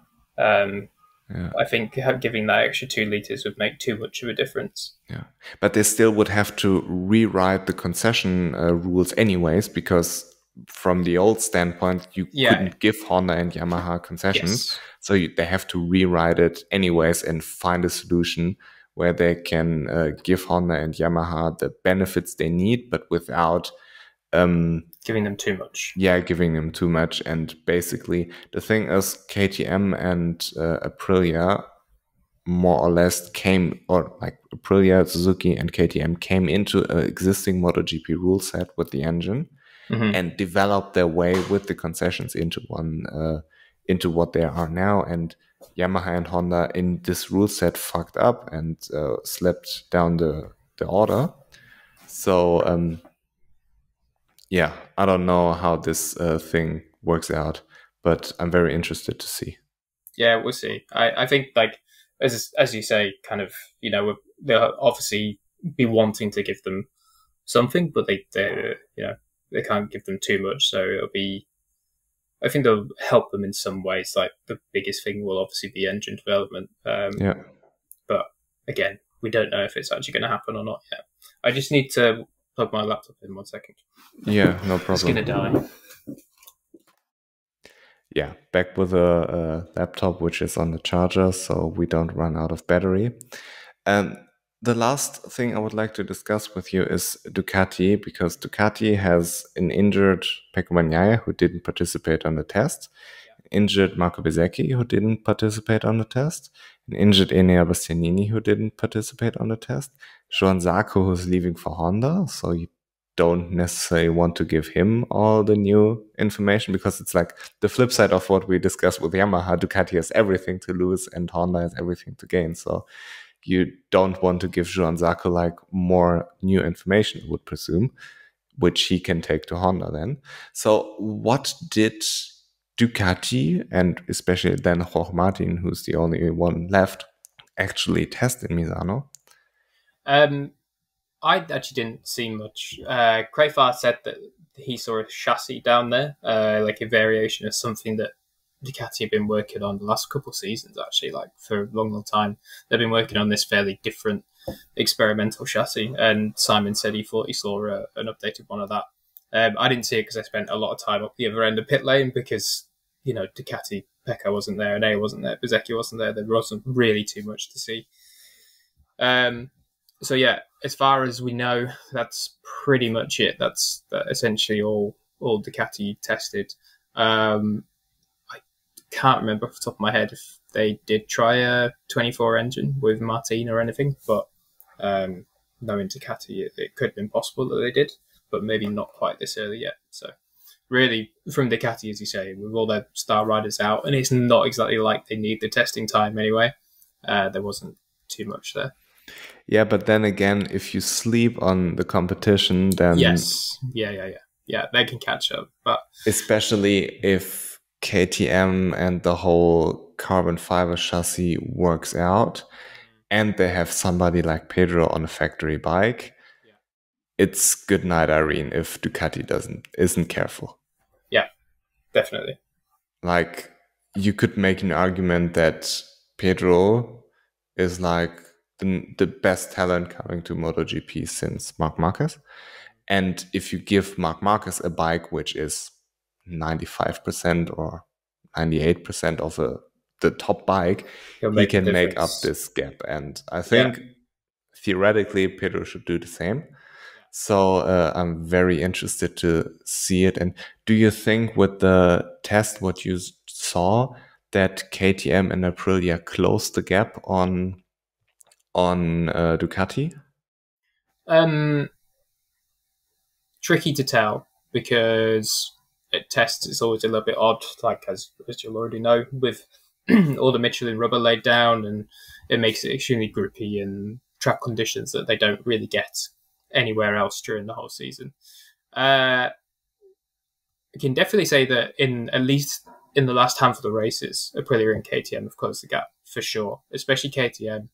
Uh, Brad has definitely made a step within himself. He's riding more consistent. He's getting the best out of himself more often, and he's improving his qualifying, which has always been his weak point. Um, and then with this carbon chassis, if he does come uh, go on to use it, or even the new steel one, and it is a little bit better, like they're already kind of snapping at their heels. So if he finds another step, he's going to be right there with them. Yeah, and do you know what Jack Miller's problems are at the moment? Uh, Jack Jack said he was struggling with the front end feel um, for the last couple of rounds, and particularly in Misano. Uh, I think probably what Jack was struggling with was maybe, particularly in Misano, was the high grip with the rear, because Jack a lot of times will really hang the, the rear end out and get it to break out on the brakes. Brad does the same for sure, but it seems as though Brad found a way to overcome it. Um, and yeah, Jack was just struggling with the front end. He said that it just he doesn't have the same feeling as what he had at the start of the year. And do you think that with the KTM situation at the moment, with Pol, Augusto, and Jack Miller, both or all three are potentially at danger of losing their job when all three are saying they have a contract for next season. Um, do you do you have anything new, or do you know anything, or what's what's it, your feeling? Is, well, I've I have a very clear cut opinion on it. Um, I don't know anything, by the way. I have no idea. Like the same as all everyone watching. Um, but my opinion is the real prize that KTM slash Gas Gas slash the Pierer Mobility Group has is Pedro Acosta. Um, as much as I like Augusto Fernandez, I do not think he is this golden prize that they should hold on to and you know take him all the way in MotoGP because I don't think he's going to go all the way in MotoGP. I don't think he'll end up being a race winner or a, or a world champion. Uh, I think even in the first couple of races that Pol's come back, he's shown at times that he's quite clearly much quicker than Augusto. Obviously, it's Augusto's debut season, his rookie season. Like for sure, next year, if he is still there, he will be better. But I just don't see a massive ceiling for him to improve. The reason why I think it's a real clear cut decision, and I think what they should do is, unfortunately and quite harshly, say bye to Augusto and keep Pol, um, is because in Pedro's initial stages when he comes up, who is the rider he would learn most off in those first really important first three, four tests and first couple of races? It's going to be Pol. If he is in that Gas Gas team and he is teammates with Pol, he has much more potential and much more information to take from Pol than he does Augusto. Um, and obviously, in that scenario, like KTM have chance to gain a test rider in Pol Espargaro. I doubt Augusto would like to be a test rider. If he doesn't get this deal, I imagine he'll find something in either Moto 2 or somewhere else. Um, so unfortunately, you would lose out the possibility of that. But it's not like KTM need a test rider. Uh, so for me, it's it's clear cut. Your real prize is Pedro, and like my mates here in, in Dorna have said to me, yeah, but it doesn't matter. Like Pedro's going to succeed on his own anyway. Yeah, but it doesn't hurt to go the extra mile and give him every necessary piece of information, at all that he needs to be brilliant. So for me, it's clear. You go with Pol, and yep. unfortunately, say bye to Augusto. I have a very different opinion on it. Um, First we, of all, we differed on the Mir and Rins thing as well. yeah, yeah, that, that's correct. I remember. Um, I would just want to say, because I'm petty, that this season I feel like it proves me right in this discussion. yeah, yeah, go for it. and uh, because Rins won a race, so. but um, yeah, I have a very different perspective. First of all, the personal one. I mean, Pol has had a horrific crash in mm-hmm. Portimao. Yeah. It reminded me too much of Luis Salom, and he was very, very lucky there. And he has a family, has has has had a wonderful time in MotoGP. He won a world championship.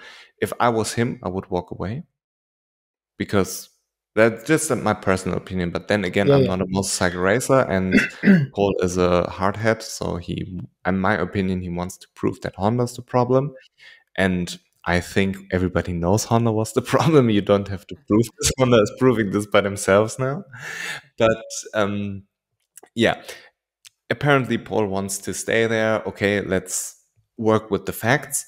And um, my opinion is, is Pedro Acosta and Remy Gardner are very, very close friends.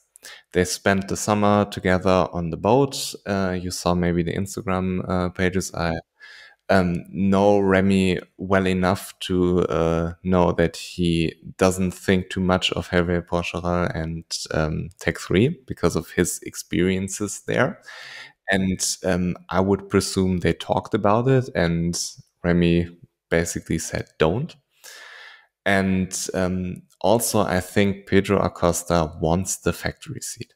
He has every right to uh, to go to KTM and say, hey, I want this factory seat.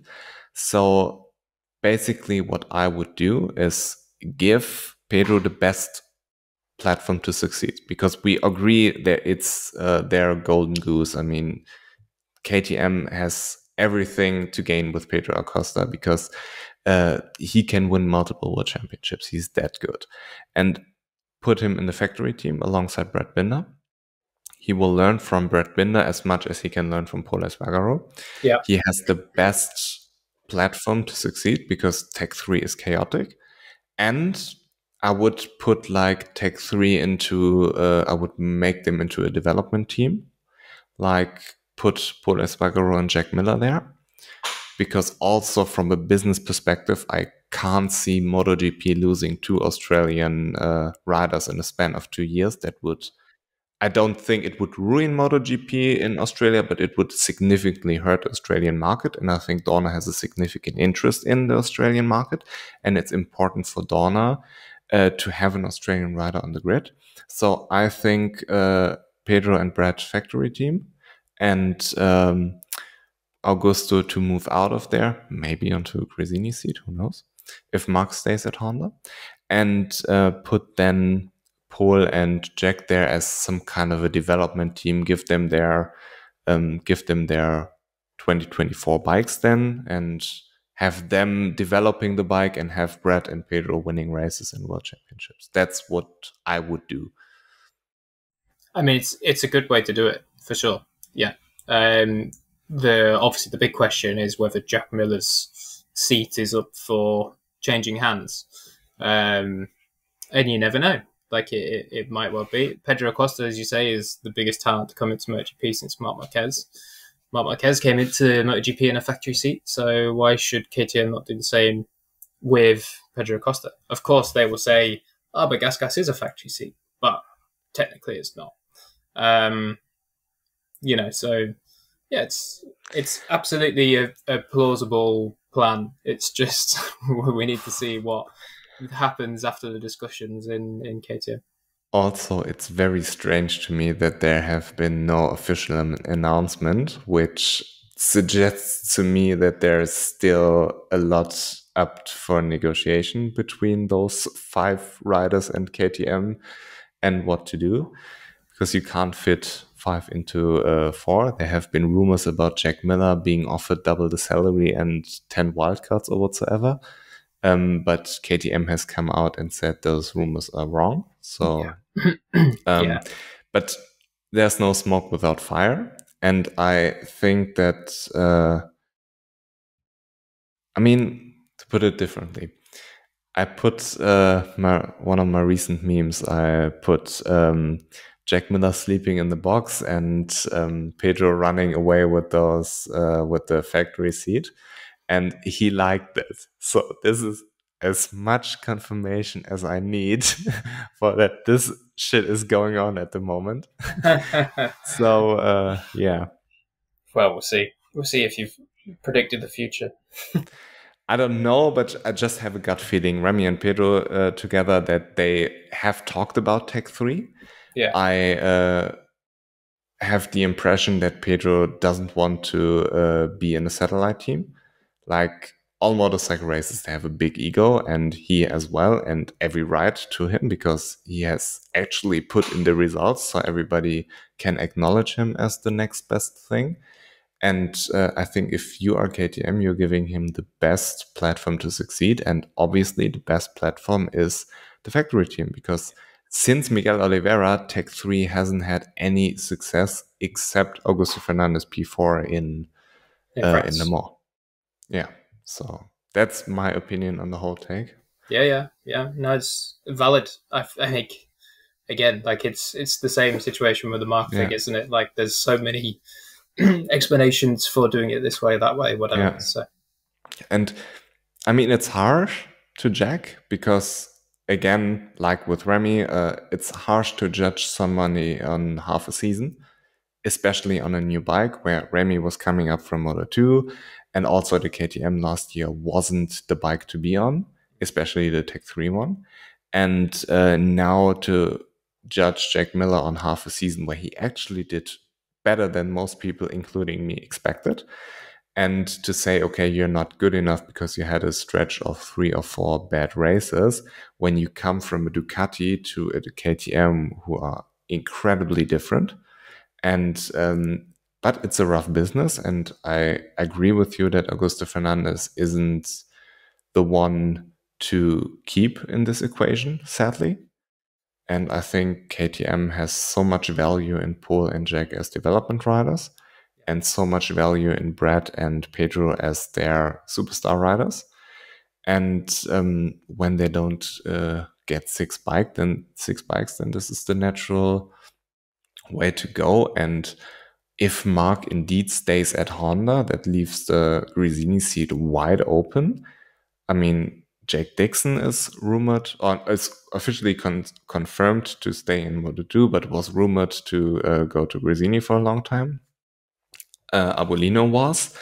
And it's still again strange for me that they haven't announced where Frankie is going, which shows me that there is something going up in the background because Frankie to Ducati is more or less official because Paolo Ciabatti came out in Silverstone on the broadcast and said, "Yeah, uh, we would like to have a rider uh, like Frankie." And I think it makes total sense for them when they lose Zarco to put somebody in like Frankie, who's not going to challenge for a factory seat, but who has a ton of experience in MotoGP, who has ridden a Honda, who has ridden a Yamaha, and uh, has been exceptionally well when Yamaha was good. Remember, he was one engine blow up away from becoming a world champion in 2020. yeah, he was brilliant that uh, year. He, in my opinion, he deserved this championship more than Joan Mir because he actually went out and won races. Uh, yeah plural here. so uh, I think, but I mean, engine blows up. You can't do anything about yeah, it. It is what it is. But um, I think Frankie is a high caliber rider, but I have no clue what's going on with the Ducati seats. And this again shows me that there's a lot of um, negotiation in the background where they don't know if this Marc Marquez domino will fall and he will stay at Honda. It's, it could be very interesting if Ducati would promote Jack Dixon because it has a huge value for Dorna to have a British rider on the grid. Um, or maybe Tony Arbolino. Maybe they say, okay, we will pick off uh, Augusto Fernandez because he is better than uh, Arbolino and uh, Jackson and Dixon. So um, this could be a possibility and put Frankie into Pramac, but I also could see Marc going into Pramac and uh, Frankie going to Gresini. And I think until this Marc domino falls, that uh, there will be a lot going on uh, behind closed door, which we don't see. But to me, it's very odd that we don't know where Pedro is going, even though we know he's going to MotoGP, but we don't know to which team yet. And to me, it's very odd that we don't know what's going on with these two Ducati seats, even though it's obvious. Yeah. In a way, you know? Yeah, yeah. That is, there's still plenty uh, to be, yeah, decided, I would say. Um, but I guess we'll just see. Hopefully, we, we find out quite soon because it is yeah. it's now getting to the point where they need to make a decision. Yeah, but it's quite interesting. So you work for Dorna, but at the end of the day, you don't have more information to those uh, things. No, no, I'm just a, a, lowly social media editor. I, yeah. I don't, don't, have a fucking clue with that stuff. So. Yeah, yeah. You always have the perception of those guys, those uh, MotoGP guys. They have to know something, but at yeah. the end of the day, I mean, maybe the guys in the paddock more. I don't go to the races that much, but um, maybe the guys that are always in the paddock will know a bit more. But like even you know, I chat to Crafar about it, and he's the same as me, no yeah. idea, and he's there every day. So yeah, I talked with uh, Simon as well you live together with Jack Appleyard, right? Yeah, I do. Yeah, yeah, so he's all the time in the paddock, and I would assume if he knows something, he would tell yeah. you. But no, Jack just tells me the rumors, and yeah, that's it. Like all the are yeah. rumors. You know, he has no idea. No one else. Yeah, please greet him for me. I really like the enthusiasm he brings to to the MotoGP. It's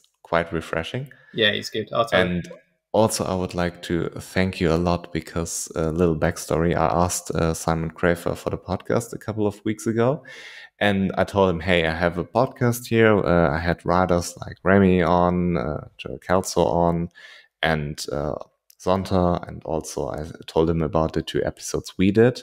And um, he told me that he reached out to you and asked because he didn't know who I was and he uh, couldn't judge it uh, if it was a good idea or not. And he told me that you had a very, very, uh, only very positive things uh, to say about me. And I would thank you from the bottom of my heart for it. Uh, talk with no Simon was incredible. He's so nice to talk to, and all the positive things you said about him are actually true.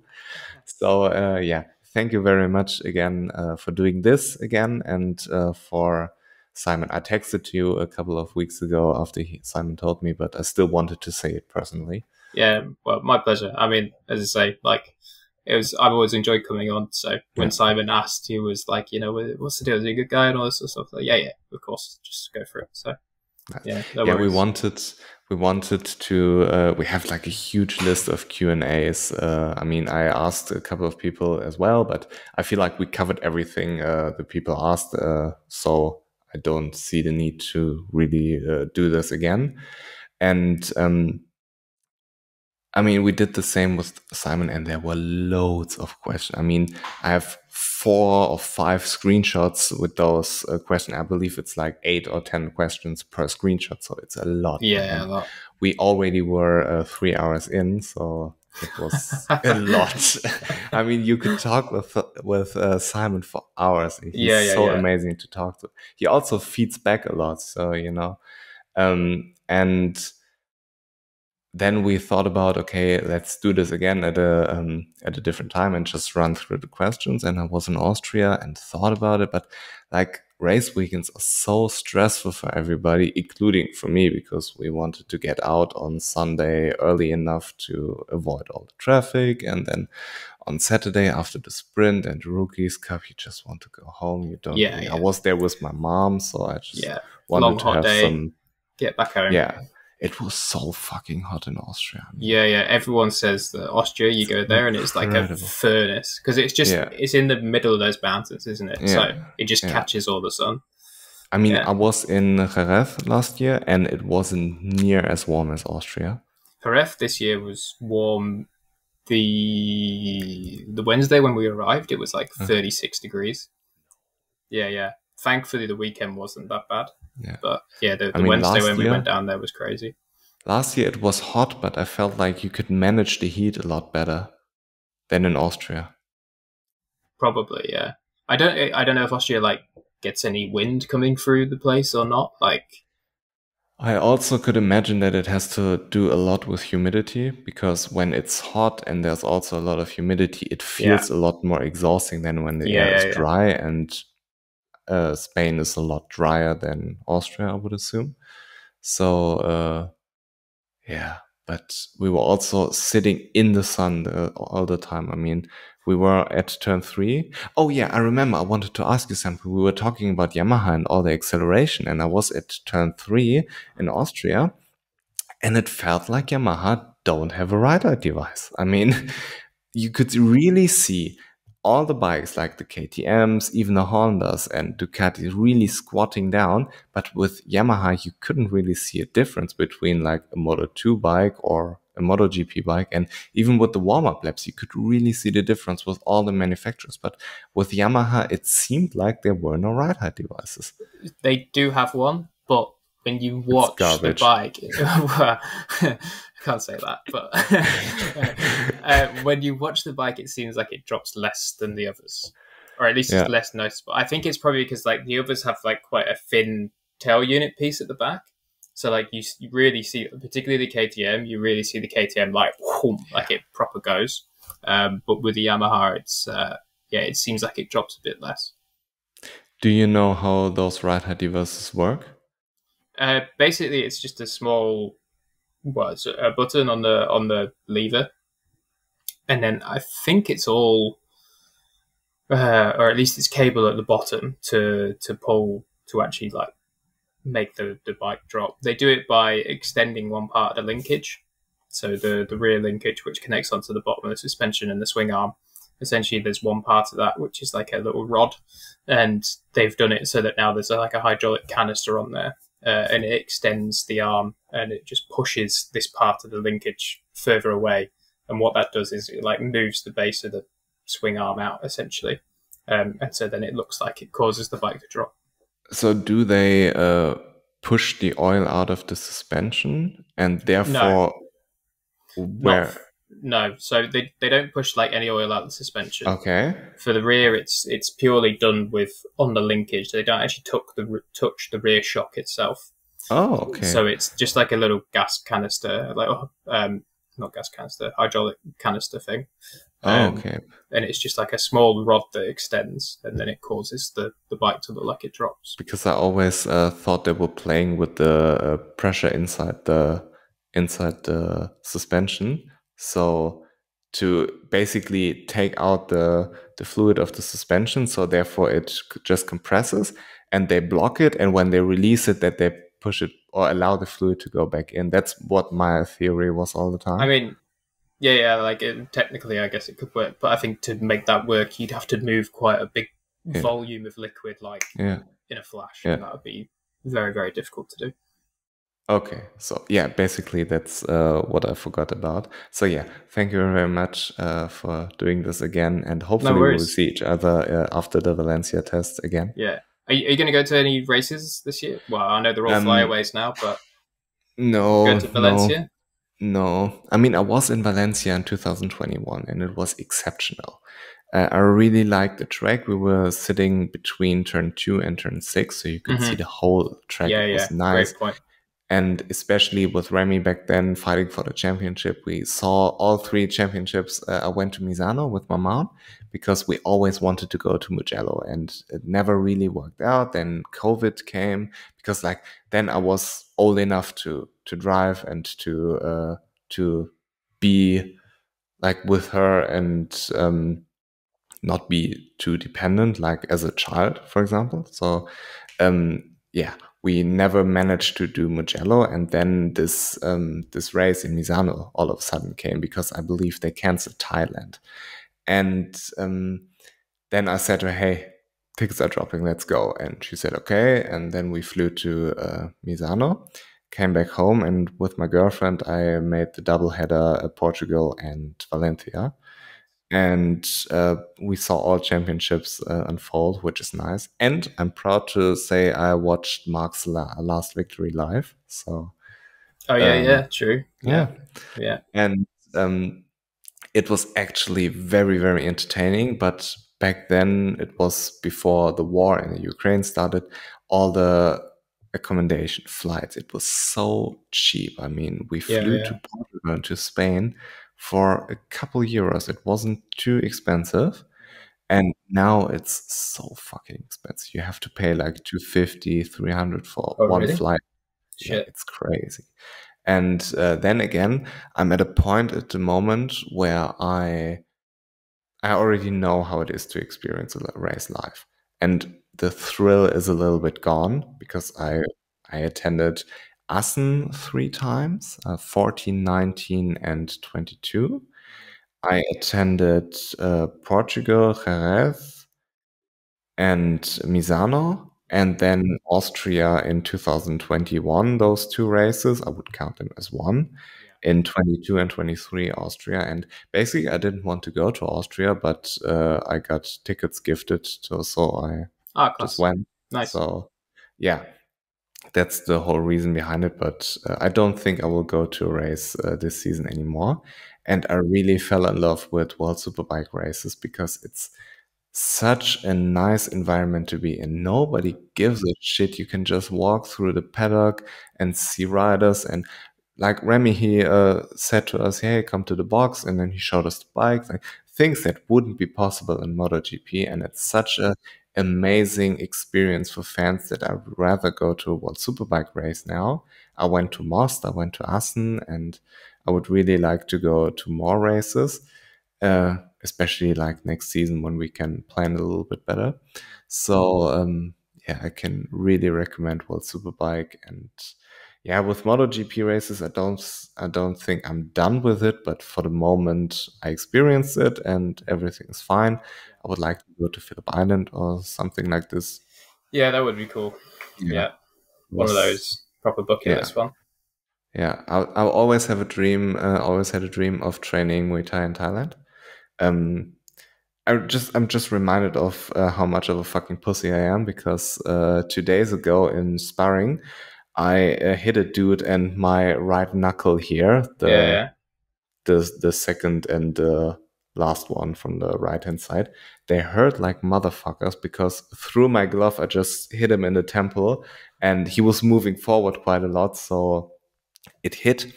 and I felt sorry for it because I wasn't uh, meant to hit so hard. But since he moved forward, it was quite hard, and now my fucking knuckles hurt so much.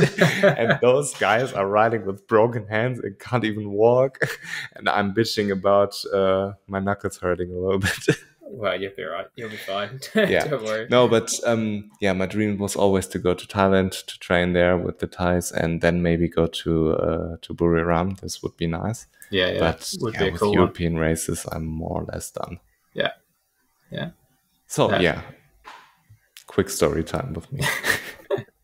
You need to do I Le will- actually. That's one you should do. Eh? yeah, that's that's actually correct. I've never been to Le Mans, and it's not too far away. It's like seven hour drive or something from where my mom lives. And Yeah, yeah. but yeah um since i'm moving to berlin now uh, if you ever happen to be there hit me up Yeah, we'll do. Definitely.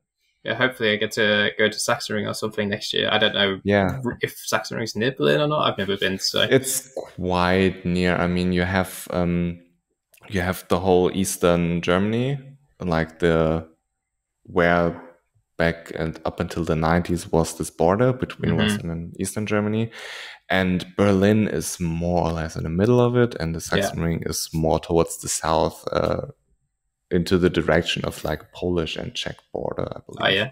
i'm Okay. not quite sure but it's it's not too far away maybe i could do it as well but i don't i don't like the sachsenring i think this track is fucking ugly i mean I mean, What yeah, fuck? I, am not a big fan of the track. I like it's very unique, isn't it? But yeah it, it's meant to be a good one to go to if you're a fan. Yeah? like yeah, yeah. Apparently, like around the circuit, there's a lot put on. It's a good party. So Nice. Mm. Yeah, I'm I'm a fucking boring human being. I don't go to parties. I chill at home with my animals yeah, yeah, and yeah, play with the dogs, play with the cats, go to the stable with my girlfriend and go to bed early. Then uh, I go to training a couple times a week and uh, stand and bang with some random dudes. Hurt my fucking knuckles. And that's basically my life. So well, there, there are worse ways to live, so I won't, Yeah. won't complain too much. Yeah. get some CTE and make stupid memes. Yeah. Okay. Thank you very much and uh, goodbye. Thanks for having me on. Cheers.